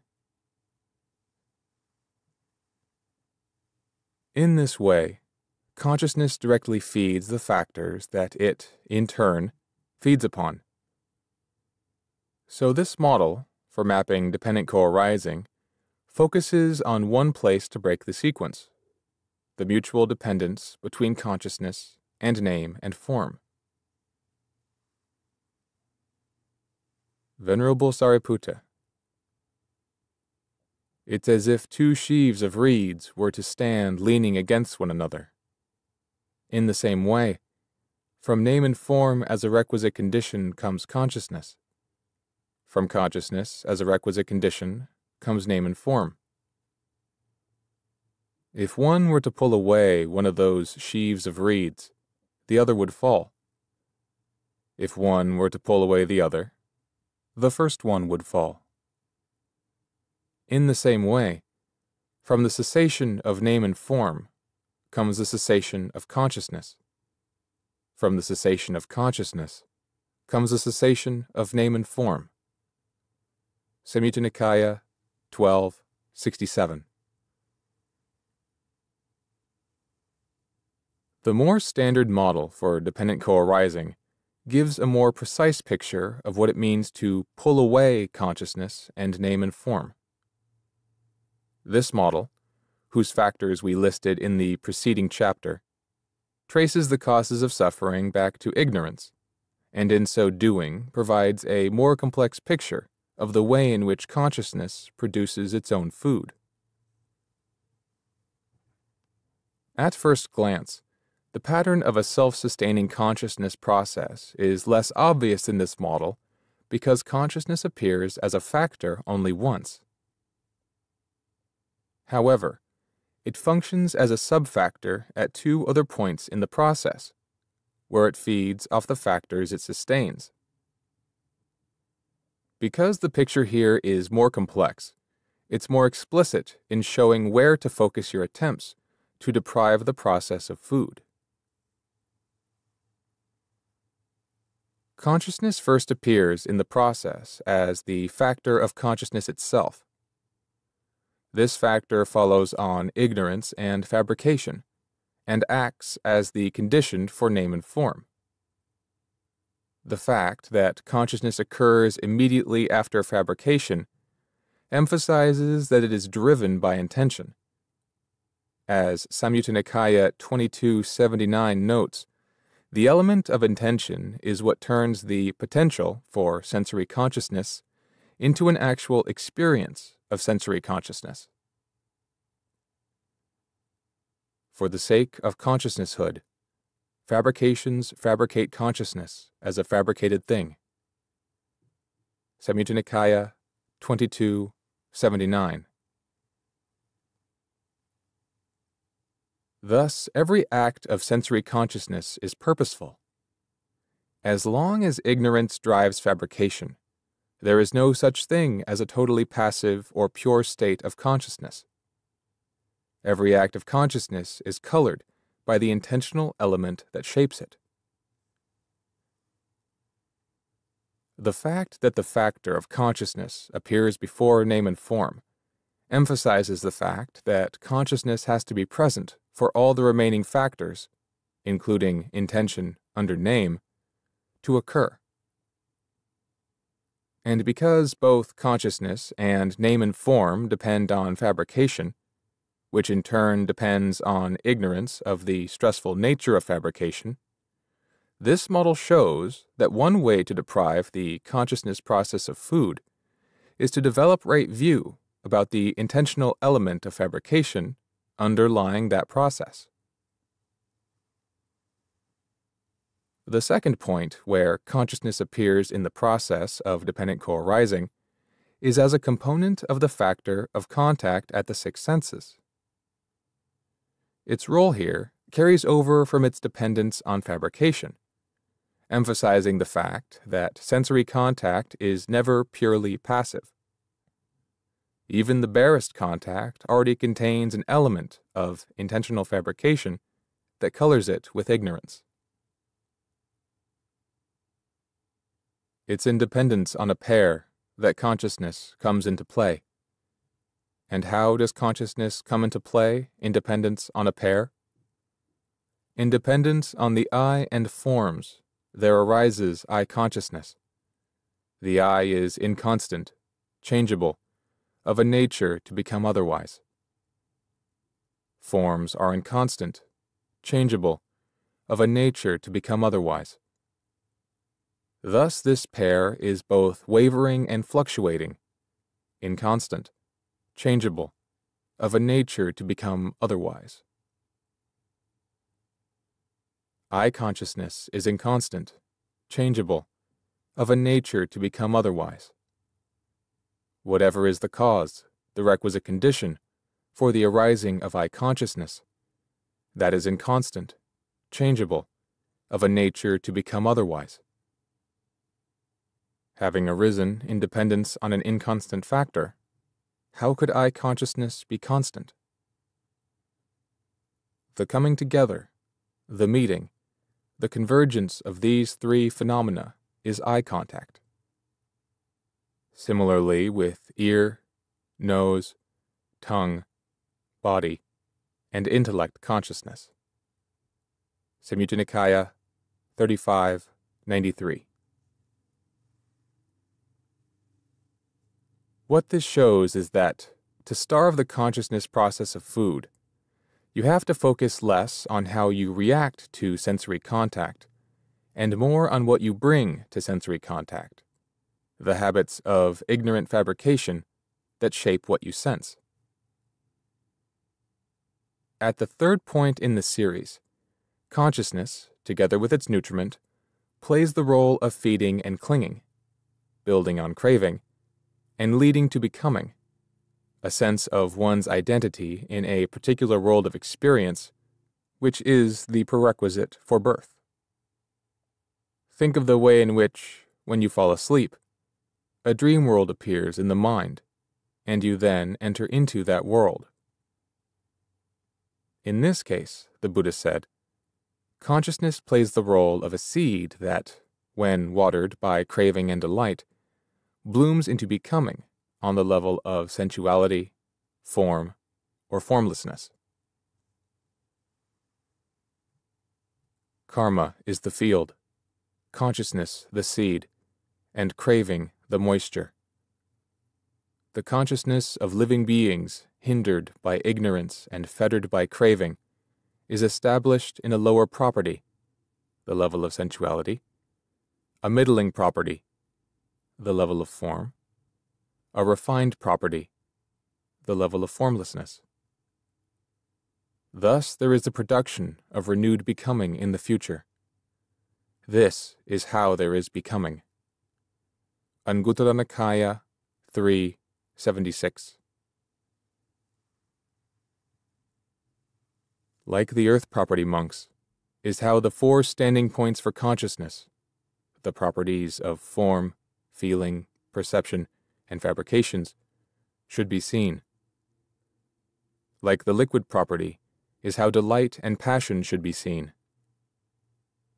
Like the five types of plant propagations roots, stems, joints, cuttings, and seeds is how consciousness, together with its nutriment, should be seen. Samyutta Nikaya 2254. To view consciousness and its nutriment here as a seed watered by craving, delight, and passion helps focus attention on the role played by these three latter mind states in producing food for endlessly repeated suffering and birth. These are the mind states that sustain the consciousness process as it moves from one standing point to another. Perhaps the Buddha switched from the feeding analogy to the seed analogy here because the implications of the food analogy at this point would have been too harsh to state explicitly in polite company. We keep feeding off the byproducts of our earlier feeding. The seed analogy, however, makes this point more indirectly. Just as seeds, when watered, grow into plants that both produce seeds and, when they die, add fertilizer to the soil that feeds those seeds, in the same way, consciousness nourished with karma and craving keeps producing more standing points, the aggregates of form, feeling, perception, fabrication, and consciousness, for future acts of consciousness to feed on. Should consciousness, when standing, stand attached to form, supported by form as its object, landing on form, watered with delight, it would exhibit growth, increase, and proliferation. Should consciousness, when standing, stand attached to feeling, supported by feeling as its object, landing on feeling, watered with delight, it would exhibit growth, increase, and proliferation. Should consciousness, when standing, stand attached to perception, supported by perception as its object, landing on perception, watered with delight, it would exhibit growth, increase, and proliferation. Should consciousness, when standing, stand attached to fabrications, supported by fabrications as its object, landing on fabrications, watered with delight, it would exhibit growth, increase, and proliferation. Were someone to say, I will describe a coming, a going, a passing away, an arising, a growth, an increase, or a proliferation of consciousness apart from form, from feeling, from perception, from fabrications, that would be impossible. Samyutta Nikaya 2254. In other words, as long as delight and passion, this phrase is a synonym for clinging, nourishes the consciousness process, consciousness in turn keeps creating the food to keep the process going indefinitely, even after the form of this body is cast aside. This is why repeated birth as process will not end until it's deprived of the water of craving and clinging. And the only way to deprive the process of its water and food is to develop dispassion for activities that sustain it. This is where this model for dependent co-arising shows its pragmatic value. It demonstrates not only that the food and water for rebirth can be directly experienced, but also that these processes are the direct consequence of choices made in the mind, the intentional activity of fabrication based on ignorance. In this way, it points to the possibility that the suffering of repeated rebirth can be ended by choice, choosing to develop appropriate attention, right view concerning the Four Noble Truths, which puts an end to craving and ignorance. That way, instead of getting entangled in trying to destroy the conditions of birth, which would lead to taking on a destroyer identity, which would merely continue the process of becoming, you choose simply to starve the process of its sustenance, allowing it to end on its own. That choice is where the path, the fourth noble truth, begins.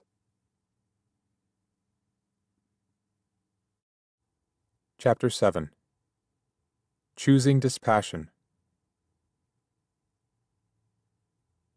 Given that passion is something we habitually enjoy, it's not easy to choose a path leading toward total dispassion. You have to be strongly motivated to take it up and to stick with it. At the same time, you have to hold yourself to high standards all along the way, for it's all too easy to fall for subtle levels of passion that can pull you back into the processes leading to renewed suffering and rebirth. This is one of the reasons why right view comes at the beginning of the path, to provide motivation for and guidance to all the other path factors right resolve, right speech, right action, right livelihood, right effort, right mindfulness, and right concentration. As a part of right view, conviction in rebirth, and of the influence of action in leading to rebirth, plays an important role in performing both of these functions, motivating the initial choice to follow the path and guiding choices made along the way. We have already noted in Chapter 4 how the Buddha used belief in rebirth to inspire a general desire to escape the rounds of suffering. Here, the specifics of right view about rebirth help focus that desire specifically on the path. Some people claim that belief in rebirth breeds complacency. You have many lifetimes to follow the path, so you can take your time. But the Buddha's descriptions of the dangers of rebirth present a very different picture. You could die at any moment, and there are plenty of miserable places, realms where it would be impossible to practice, where you could easily be reborn. And even if you do manage to reach a good level of rebirth the next time around, the chances of a good rebirth after that are very slim so you have to get started on mastering the path while you can. Then the Blessed One, picking up a little bit of dust with the tip of his fingernail, said to the monks, What do you think, monks? Which is greater? The little bit of dust I have picked up with the tip of my fingernail, or the great earth? The great earth is far greater, Lord, the little bit of dust the Blessed One has picked up with the tip of his fingernail is next to nothing. It doesn't even count. It's no comparison. It's not even a fraction. This little bit of dust the Blessed One has picked up with the tip of his fingernail when compared with the great earth. In the same way, monks, few are the beings who, on passing away from the human realm, are reborn among human beings. Far more are the beings who, on passing away from the human realm, are reborn in hell, in the animal womb, in the domain of the hungry ghosts. In the same way, monks, few are the beings who, on passing away from the human realm, are reborn among devas. Far more are the beings who, on passing away from the human realm, are reborn in hell, in the animal womb, in the domain of the hungry ghosts. In the same way, monks, few are the beings who, on passing away from the Deva realm, are reborn among Devas. Far more are the beings who, on passing away from the Deva realm, are reborn in hell, in the animal womb, in the domain of the hungry ghosts. In the same way, monks, Few are the beings who, on passing away from the Deva realm, are reborn among human beings. Far more are the beings who, on passing away from the Deva realm, are reborn in hell, in the animal womb, in the domain of the hungry ghosts. Therefore, your duty is the contemplation. This is stress. This is the origination of stress. This is the cessation of stress. Your duty is the contemplation. This is the path of practice leading to the cessation of stress. Samyutta Nikaya 56, 102 through 113. The Buddha also used conviction in rebirth to encourage his listeners not to be deterred by difficulties faced along the path. Compared to the sufferings of repeated rebirth, those difficulties count for nothing. Monks, suppose there was a man whose lifespan was 100 years, who would live to 100. Someone would say to him, Look here, fellow, they will stab you at dawn with 100 spears, at noon with 100 spears, and again at evening with 100 spears. You, thus stabbed day after day with 300 spears, will have a lifespan of 100 years, will live to be 100, and at the end of 100 years, you will realize the Four Noble Truths that you have never realized before.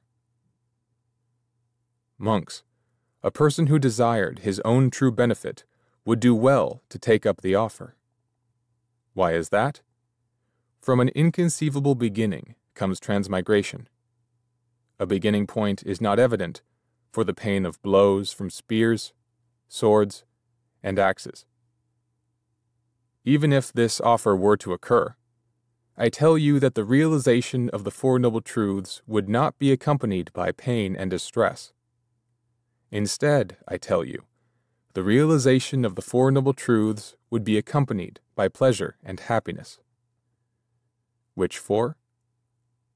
The Noble Truth of Stress, the noble truth of the origination of stress, the noble truth of the cessation of stress, and the noble truth of the path of practice leading to the cessation of stress. Therefore, your duty is the contemplation. This is stress. This is the origination of stress. This is the cessation of stress. This is the path of practice leading to the cessation of stress. Samyutta Nikaya 5635. In principle, the path to the end of suffering can be completed in one lifetime. The canon contains many stories of people who gained full awakening after hearing only one of the Buddha's discourses, and Majjhima Nikaya 10, among other discourses, states that in some cases, even just seven days determined practice can be enough to complete the path. But that's in principle. Each person's awakening, though, is a specific case and the Buddha knew that, for most of his listeners, the path would be a multi lifetime affair. And it's hard not to imagine that many of his listeners, just like many people today, looked at the entanglements of their lives and realized that they would never have enough free time in this lifetime to devote fully to the practice. So, instead of trying to please them by paring the path down to what they might reasonably accomplish within the limitations of this lifetime, the Buddha encouraged them with a multi lifetime perspective on the path, to convince them that whatever efforts they made in the direction of awakening wouldn't come to naught. He kept the bar high, and with good reason. Only when you have a realistic view of what the path to the end of suffering actually entails will you be able to follow it and gain the full results. At the same time, the Buddha encouraged people on their deathbed to make an effort to develop dispassion for the various realms of rebirth. He even stated that they might actually achieve full awakening while doing so. In this way, they would be able to prevent huge amounts of future pain and suffering. Samyutta Nikaya 55 54. A person assuming only a single lifetime would not see the value of these sorts of efforts, which means that the single lifetime perspective would underestimate what a dying person can do, and would instead favor drugging the person even to the point of losing mindfulness to reduce his or her present pain. Because a drugged state of mind is in no position to withstand craving, this means that a single lifetime perspective would place the dying person at a severe disadvantage, and would actually be the more complacent and irresponsible view. In addition to providing motivation in practicing the path, the assumptions of karma and rebirth play an important role in ferreting out attachments to fabrications and other processes that you might otherwise overlook as you follow the path. If you don't believe, for instance, that a particular instance of passion or delight could have huge repercussions in the future, and if it seems enjoyable right now, you can easily regard it as insignificant and allow it to keep bubbling away in the mind. There is, monks, an intergalactic void, an unrestrained darkness, a pitch black darkness, where even the light of the sun and moon, so mighty, so powerful, doesn't reach. When this was said, one of the monks said to the Blessed One, Wow, what a great darkness! What a really great darkness! Is there any darkness greater and more frightening than that? There is, monk, a darkness greater and more frightening than that. And which darkness, Lord, is greater and more frightening than that? Any contemplatives or Brahmins who do not know, as it has come to be, that this is stress, who do not know, as it has come to be, that this is the origination of stress, this is the cessation of stress, this is the path of practice leading to the cessation of stress. They revel in fabrications leading to birth, They revel in fabrications leading to aging. They revel in fabrications leading to death. They revel in fabrications leading to sorrow, lamentation, pain, distress, and despair. Reveling in fabrications leading to birth, aging, death, sorrow, lamentation, pain, distress, and despair. They fabricate fabrications leading to birth, aging, death, sorrow, lamentation, pain, distress, and despair. Fabricating fabrications leading to birth, aging, death, sorrow, lamentation, pain, distress, and despair. They drop into the darkness of birth. They drop into the darkness of aging, the darkness of death, darkness of sorrow, lamentation, pain, distress, and despair. They are not totally released from birth, aging, death, sorrows, lamentations, pains, distresses, and despairs. They are not totally released, I tell you, from suffering and stress. Samyutta Nikaya 5646. Only when you appreciate the potential for even the most natural or innocuous seeming attachment to lead to long term suffering will you be willing to take it seriously and work to abandon it. And only then will you really be following the path. We've already noted in Chapter 3 that a multi lifetime perspective helps to keep you on track in the area of virtue, a point that applies to the path factors of right speech, right action, and right livelihood. The same principle also applies to the factors more directly connected to meditation.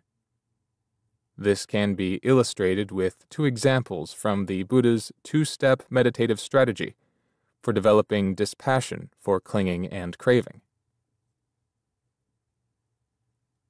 In the first step, he has you focus on the drawbacks of craving for sensuality the mind's tendency to get obsessed with plans for sensual pleasures. If you're limited to an exclusively one life view of the practice, it's hard to fully appreciate the power and drawbacks of sensual craving. After all, the evolution of life has depended on this craving, and for many people, it provides the only pleasure and excitement they know, so it's easy to justify sensuality as a good thing. Even when you consider the many drawbacks of sensuality visible in this life, it remains simply a matter of taste as to whether you feel the drawbacks are enough to deter you from sensual pursuits. Some people prefer peace and safety, others, the thrills of danger and risk. If everything ends in oblivion and annihilation, who's to say that harmful pleasures are worse than harmless? But when you take seriously the long term consequences of sensuality over many lifetimes, it changes the equation entirely. You find it easier to see that the pleasures and thrills offered by sensuality are not worth the price. It's with sensuality for the reason, sensuality for the source, that people engage in bodily misconduct, verbal misconduct, mental misconduct. Having engaged in bodily, verbal, and mental misconduct, they, with the breakup of the body, after death, reappear in a plane of deprivation, a bad destination, a lower realm, hell. Majjhima Nikaya 13.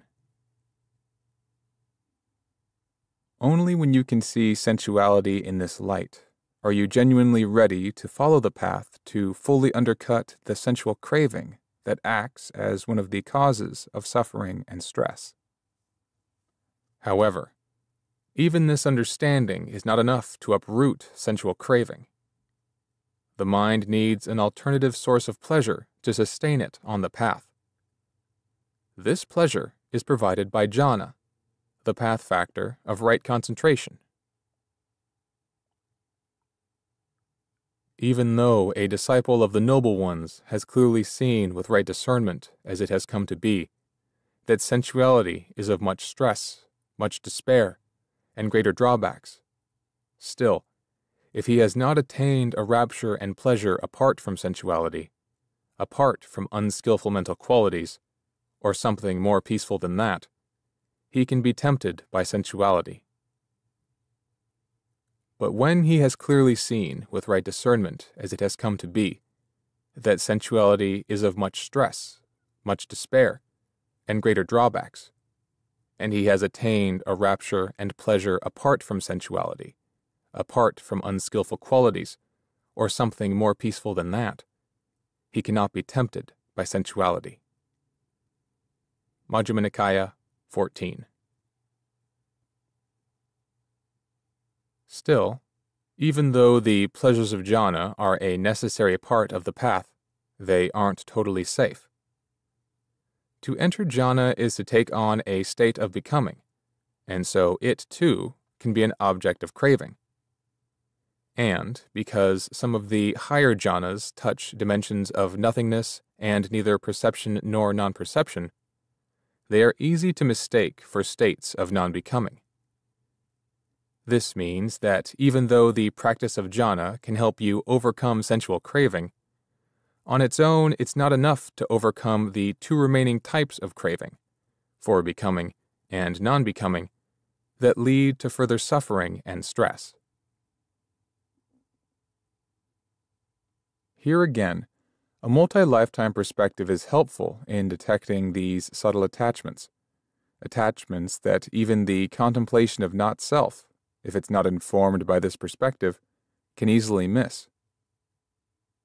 As Majjhima Nikaya 106 states, it's possible to develop the perception of not self, applying it to all phenomena, and arrive at a refined, formless level of jhana, the dimension of nothingness. At that point, you experience a subtle level of equanimity, so subtle that you can easily miss the fact that you're clinging to it if you don't see that even this equanimity can lead to future dangers, you won't feel inclined to investigate it. This may be why many meditators with a one lifetime perspective equate equanimity with nibbana. They don't see that there's any need to question their attainment of refined equanimity, for they feel it's enough to maintain them in good stead through the remainder of this lifetime. And if they hold to the materialist view that all we can know is known through the senses, then equanimity in the face of sensory experience would be the greatest peace they could imagine. But as the Buddha points out in Samyutta Nikaya 35 117, there is a dimension of experience beyond the senses, where an even greater peace can be found through the total end of fabrication. And, as he states in Majjhima Nikaya 140. If, with the possibility of this more peaceful dimension in mind, you see that even subtle levels of equanimity can lead to long lifetimes, but that those lifetimes will end, you're more inclined to investigate those levels of equanimity to see how they're fabricated. Only through this sort of investigation can you develop dispassion for the last traces of seemingly innocuous fabrication that stand in the way of full release. This is the second step in the Buddhist strategy. In one of the standard descriptions for how to develop dispassion for jhana, Majjhima Nikaya 51, Anguttara Nikaya 4 124, Anguttara Nikaya 4 126, the Buddha first has you master jhana you can't overcome attachment to it by not doing it. Then he has you contemplate the mental events sustaining jhana as processes, aggregates, which play a role in dependent co-arising under the factors of fabrication, consciousness, and name, to see that they too have their drawbacks. This focuses attention directly on the factors that dependent co-arising, in its various models, highlights as the spots where the self sustaining processes leading to suffering can be starved. This is also where we most clearly see why the Buddha discussed all the factors leading to rebirth as processes. If you're looking for your inner essence or the ground of being for the world, it's all too easy, when reaching a state of jhana, to mistake that state for what you're looking for. This, however, leads simply to more ignorance and attachment. But if you view jhana as the result of actions and processes, then when you reach this stage, you find it easier to develop dispassion for jhana without feeling that anything substantial is being lost. Suppose that an archer or archer's apprentice were to practice on a straw man or mound of clay, so that after a while he would become able to shoot long distances to fire accurate shots in rapid succession, and to pierce great masses. In the same way, there is the case where a monk enters and remains in the first jhana, rapture and pleasure born of seclusion, accompanied by directed thought and evaluation. He regards whatever phenomena there that are connected with form, feeling, perception, fabrications, and consciousness as inconstant, stressful, a disease, a cancer, an arrow, painful, an affliction, alien, a disintegration, an emptiness, not self. He turns his mind away from those phenomena and, having done so, inclines his mind to the property of deathlessness. This is peace. This is exquisite the resolution of all fabrications, the relinquishment of all acquisitions, the ending of craving, dispassion, cessation, unbinding. Similarly with the second, third, and fourth jhana. Anguttara Nikaya 936. In line with the Buddha's approach of seeing how these processes manifest on many levels, he advises that you view even the being doing jhana as a process composed of aggregates. When this contemplation yields a sense of dispassion for all aggregates past, present, and future, even those used on the path, it starves the process by which craving can lead to further rebirth. Where there is no passion for the nutriment of physical food, where there is no delight, no craving, then consciousness does not land there or increase. Where consciousness does not land or increase, there is no alighting of name and form. Where there is no alighting of name and form, there is no growth of fabrications. Where there is no growth of fabrications, there is no production of renewed becoming in the future. Where there is no production of renewed becoming in the future, there is no future birth, aging, and death. That, I tell you, has no sorrow, affliction, or despair. Similarly, with the nutriment of sensory contact, the nutriment of intellectual intention, and the nutriment of sensory consciousness. Samyutta Nikaya 12, 64. If a monk abandons passion for the property of form, the property of feeling, the property of perception, the property of fabrications, the property of consciousness, then owing to the abandonment of passion, the support is cut off, and there is no landing of consciousness consciousness, thus not having landed, not increasing, not concocting, is released. Owing to its release, it is steady. Owing to its steadiness, it is contented. Owing to its contentment, it is not agitated. Not agitated, one is totally unbound right within. One discerns that birth is ended, the holy life fulfilled, the task done, there is nothing further for the sake of this world. Samyutta Nikaya 2254. What remains is a dimension free of birth and death.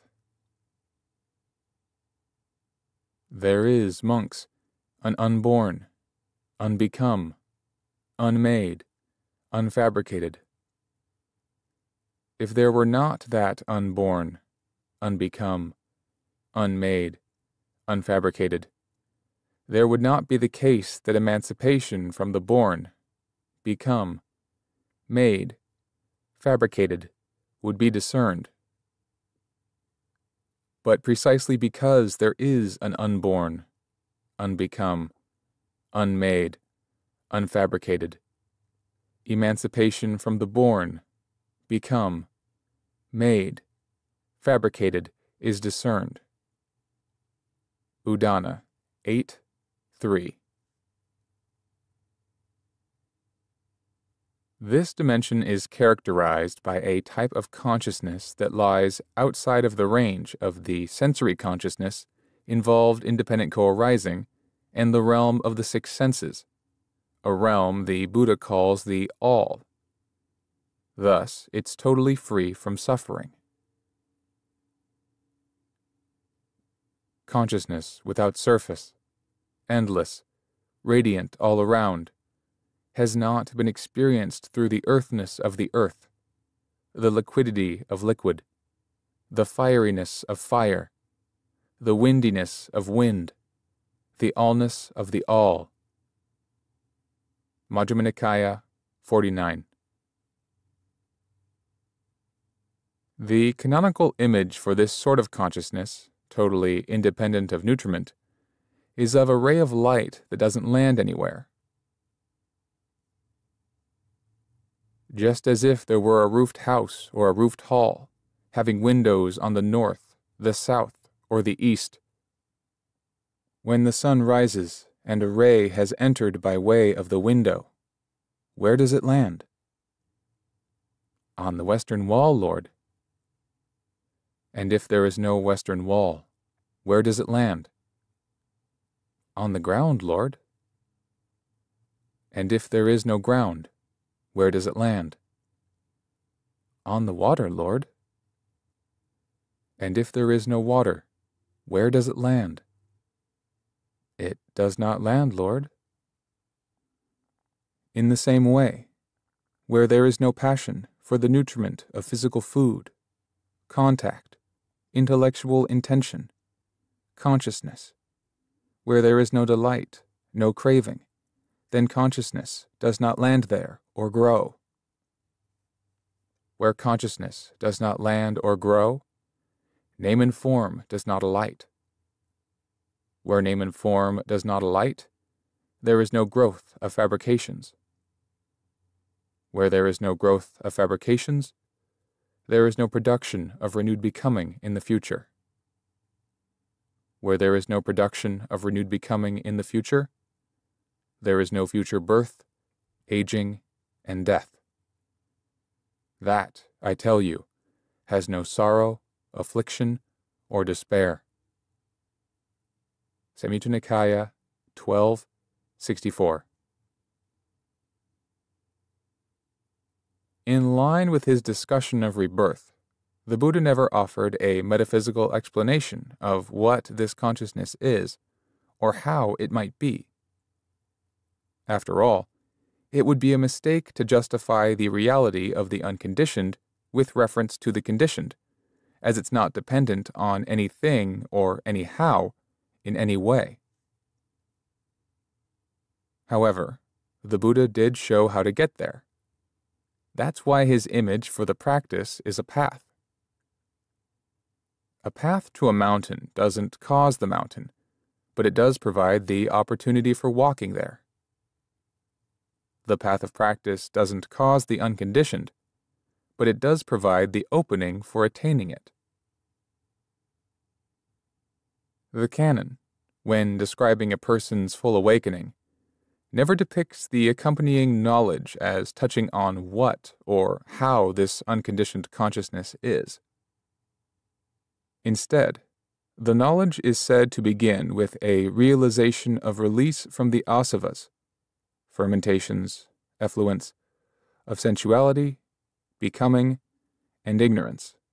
Majjhima Nikaya 19, along with the realization that that release is once and for all. Majjhima Nikaya 146. Then it proceeds to a realization of the future implications of that release. Digha Nikaya 29. Starting with the fact that it has put an end to any future rebirth. In the Buddha's own case, he expressed the knowledge like this Knowledge and vision arose in me. Unprovoked is my release. This is the last birth. There is now no further becoming. Samyutta Nikaya 56:11. The two most frequently used descriptions of the knowledge accompanying the attainment of arahantship make the same point like this.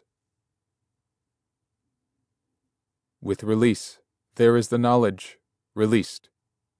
One discerns that birth is ended, the holy life fulfilled, the task done. There is nothing further for the sake of this world. Samyutta Nikaya 35 28.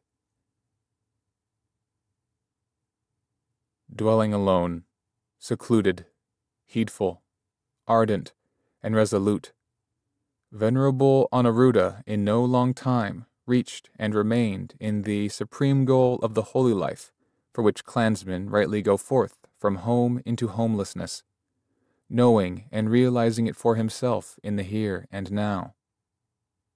He knew birth is ended, the holy life fulfilled, the task done. There is nothing further for the sake of this world. And thus, Venerable Anuruddha became another one of the Arahants. Anguttara Nikaya 8.30 In other words, when the mind returns to the fabricated dimension after its total encounter with the unfabricated dimension and has realized its release, the realization that it's through with birth, rebirth, on both the macro and the micro levels, is the first thing that spontaneously occurs to it. This realization of the ending of birth leads to the further realization that all suffering has been ended as well.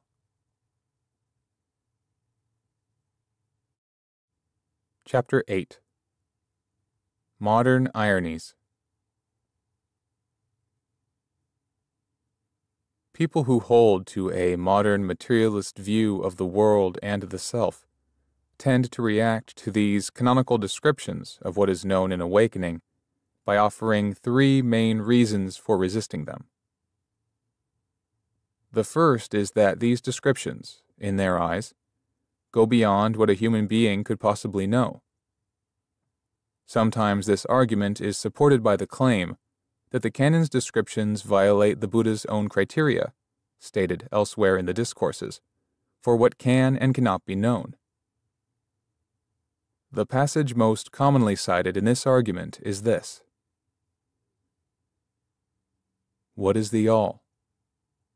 simply the eye and forms, ear and sounds, nose and aromas, tongue and flavors, body and tactile sensations, intellect and ideas. This, monks, is termed the all. Anyone who would say, repudiating this all, I will describe another, if questioned on what exactly might be the grounds for his statement, would be unable to explain, and furthermore, would be put to grief. Why? Because it lies beyond range. Samyutta Nikaya 35:23. The argument maintains that beyond range here means beyond the range of possible knowledge. Therefore, the existence of a dimension lying beyond the six senses such as that of consciousness without surface, described in Majjhima Nikaya 49, is impossible to know. This would invalidate any claim that one has known such things, and, by implication, the freedom from rebirth that such a knowledge would imply.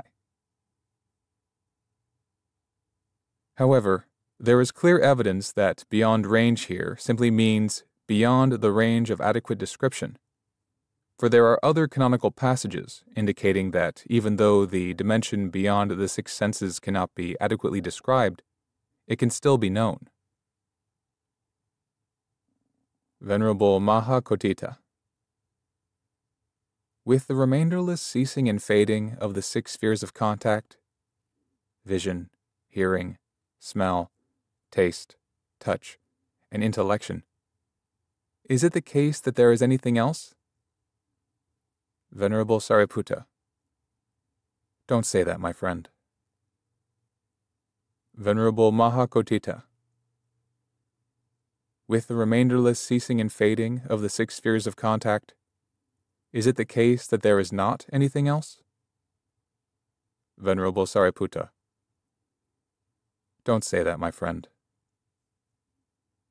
Venerable Mahakotthita. Is it the case that there both is and is not anything else?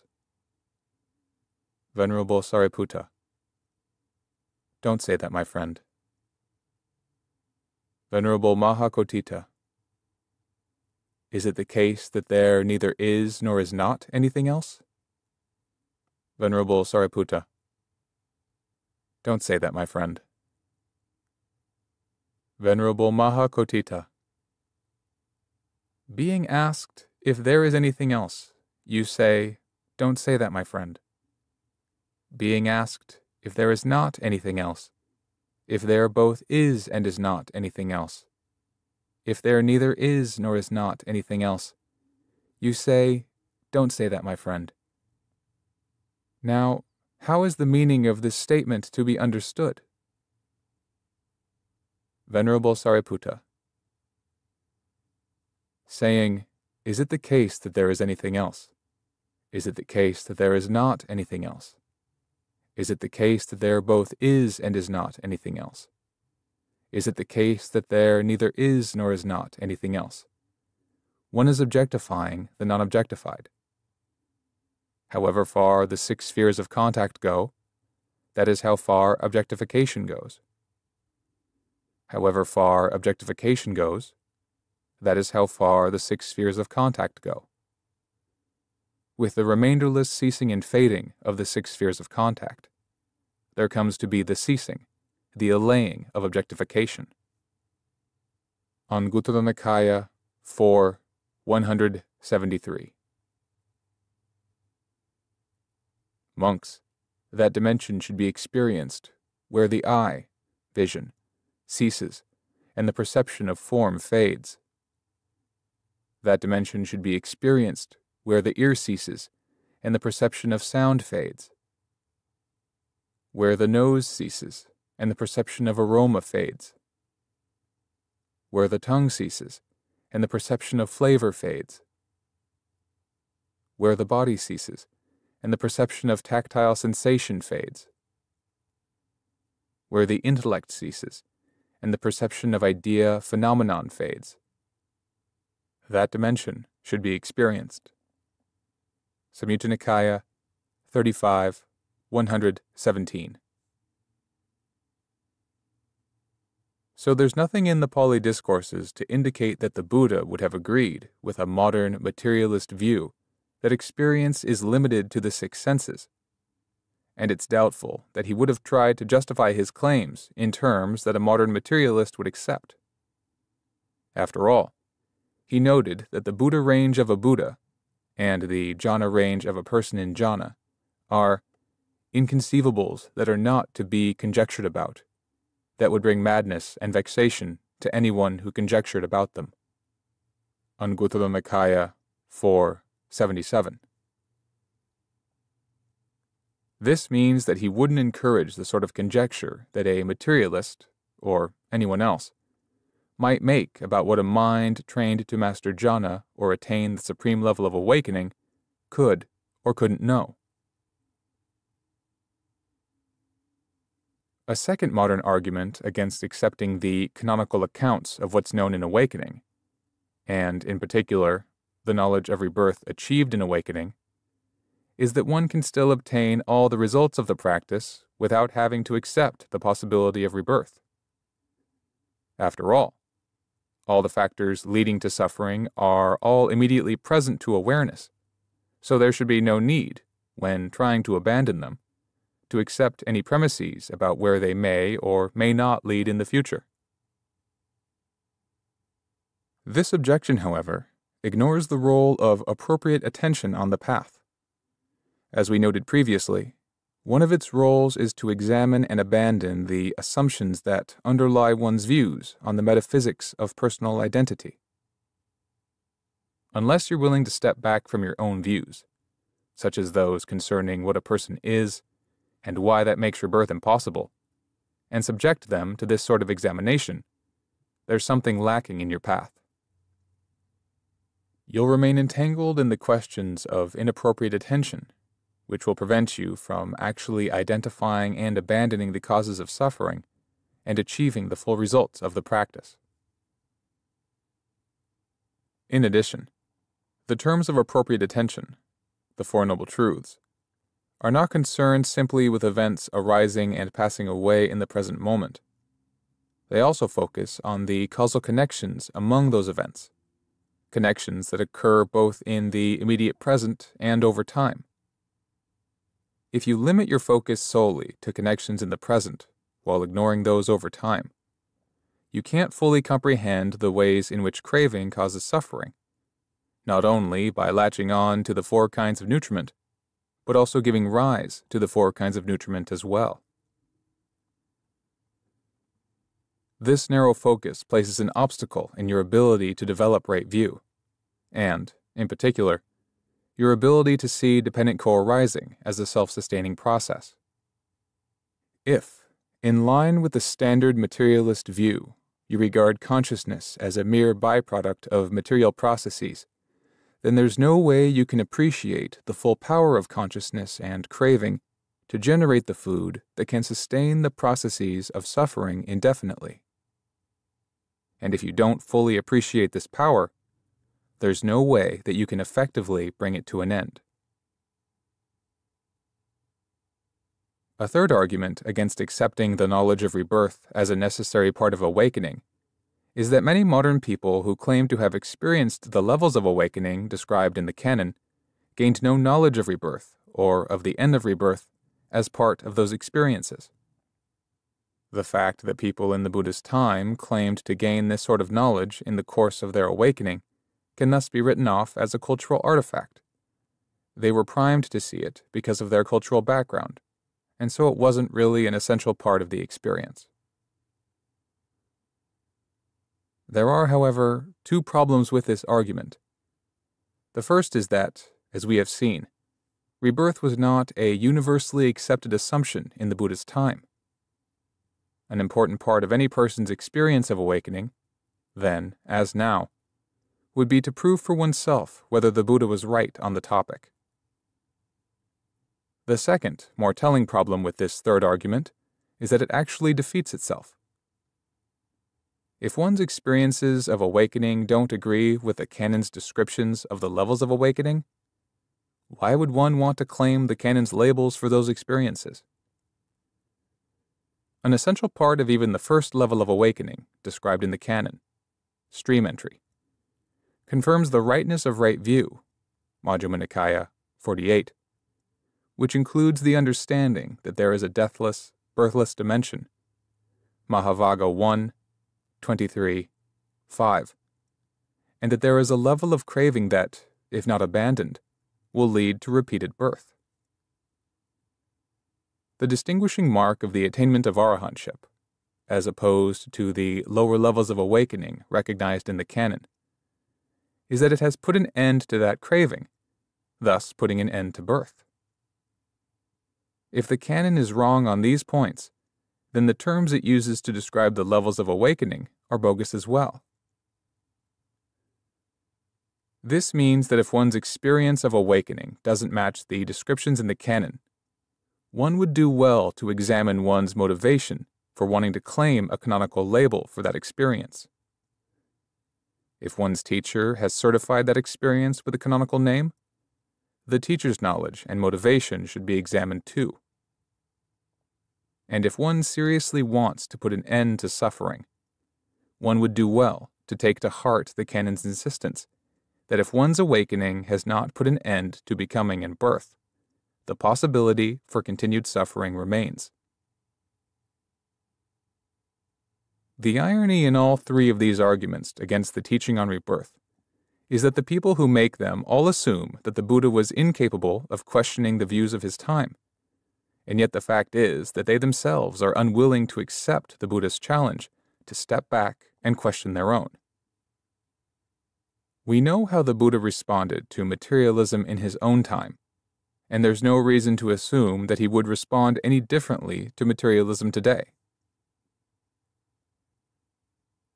Some people might object that modern materialism is much more sophisticated now than it was in the time of the Buddha, and so it deserves a more serious hearing. But is that really the case? The questions that neurobiologists presently bring to issues of consciousness what is personal identity? What sort of thing is consciousness? How can consciousness be measured in material terms? are precisely the questions that the Buddha listed under inappropriate attention. Even though modern scientific experiments may be more sophisticated than Prince Payasi's experiments on criminals, the scientists who conduct them are just as wrong headed in thinking that a phenomenological process, consciousness and mental events as experienced from within, can be captured and measured in physical terms. Although rebirth is often presented as an unscientific view, the material sciences actually have no way at all of proving the issue one way or the other.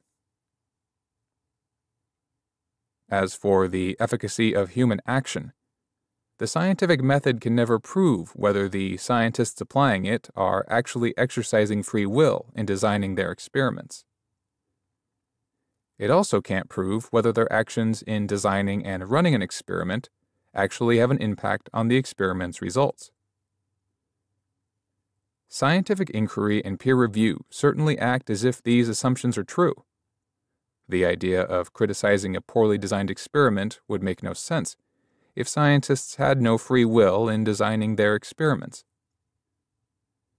And if we can judge by appearances, the assumption of free will and the responsibilities it carries have been crucial in enabling scientific knowledge to advance. But the scientific method itself can't prove whether the appearance of free will and efficacious action is anything more than an appearance. And of course, there's the irony that many scientists assume that the phenomena they observe operate under strict deterministic laws, while the method they employ assumes that they themselves are not driven by such laws in applying that method. This means that science is in no position to prove or disprove the Buddha's teachings on the range and powers of human action. Finally, there's the whole question of how valid it is to divorce the Buddha's psychological insights from his cosmological teachings. As we noted in Chapter 1, we in the West, beginning with the European Romantics and American Transcendentalists, have long assumed that cosmology is the rightful sphere of the physical sciences, while religion should limit itself to the care of the human psyche. But one of the central insights of the Buddha's awakening is that events on the micro scale in the mind actually shape experiences on the macro scale in time and space. If we can't question the clear line our culture draws between psychology and cosmology, we won't be in a position to appreciate the ways in which the Buddha's insight on this issue can actually help bring suffering to an end. So we're faced with a choice. If we're sincere about wanting to end suffering and to give the Buddha's teachings a fair test, then, instead of assuming that he was a prisoner of his own time and place, unable to question his cultural assumptions, we have to examine the extent to which in adhering to our own cultural assumptions, we're imprisoning ourselves. If we don't want to drop our self imposed restrictions, we can still benefit from any of the Buddha's teachings that fit within those limitations, but we'll have to accept the consequences that the results we'll get will be limited as well. Only if we're willing to submit to the test of appropriate attention, abandoning the presuppositions that distort our thinking about issues like karma and rebirth, will we be able to make full use of the canon's tools for gaining total release.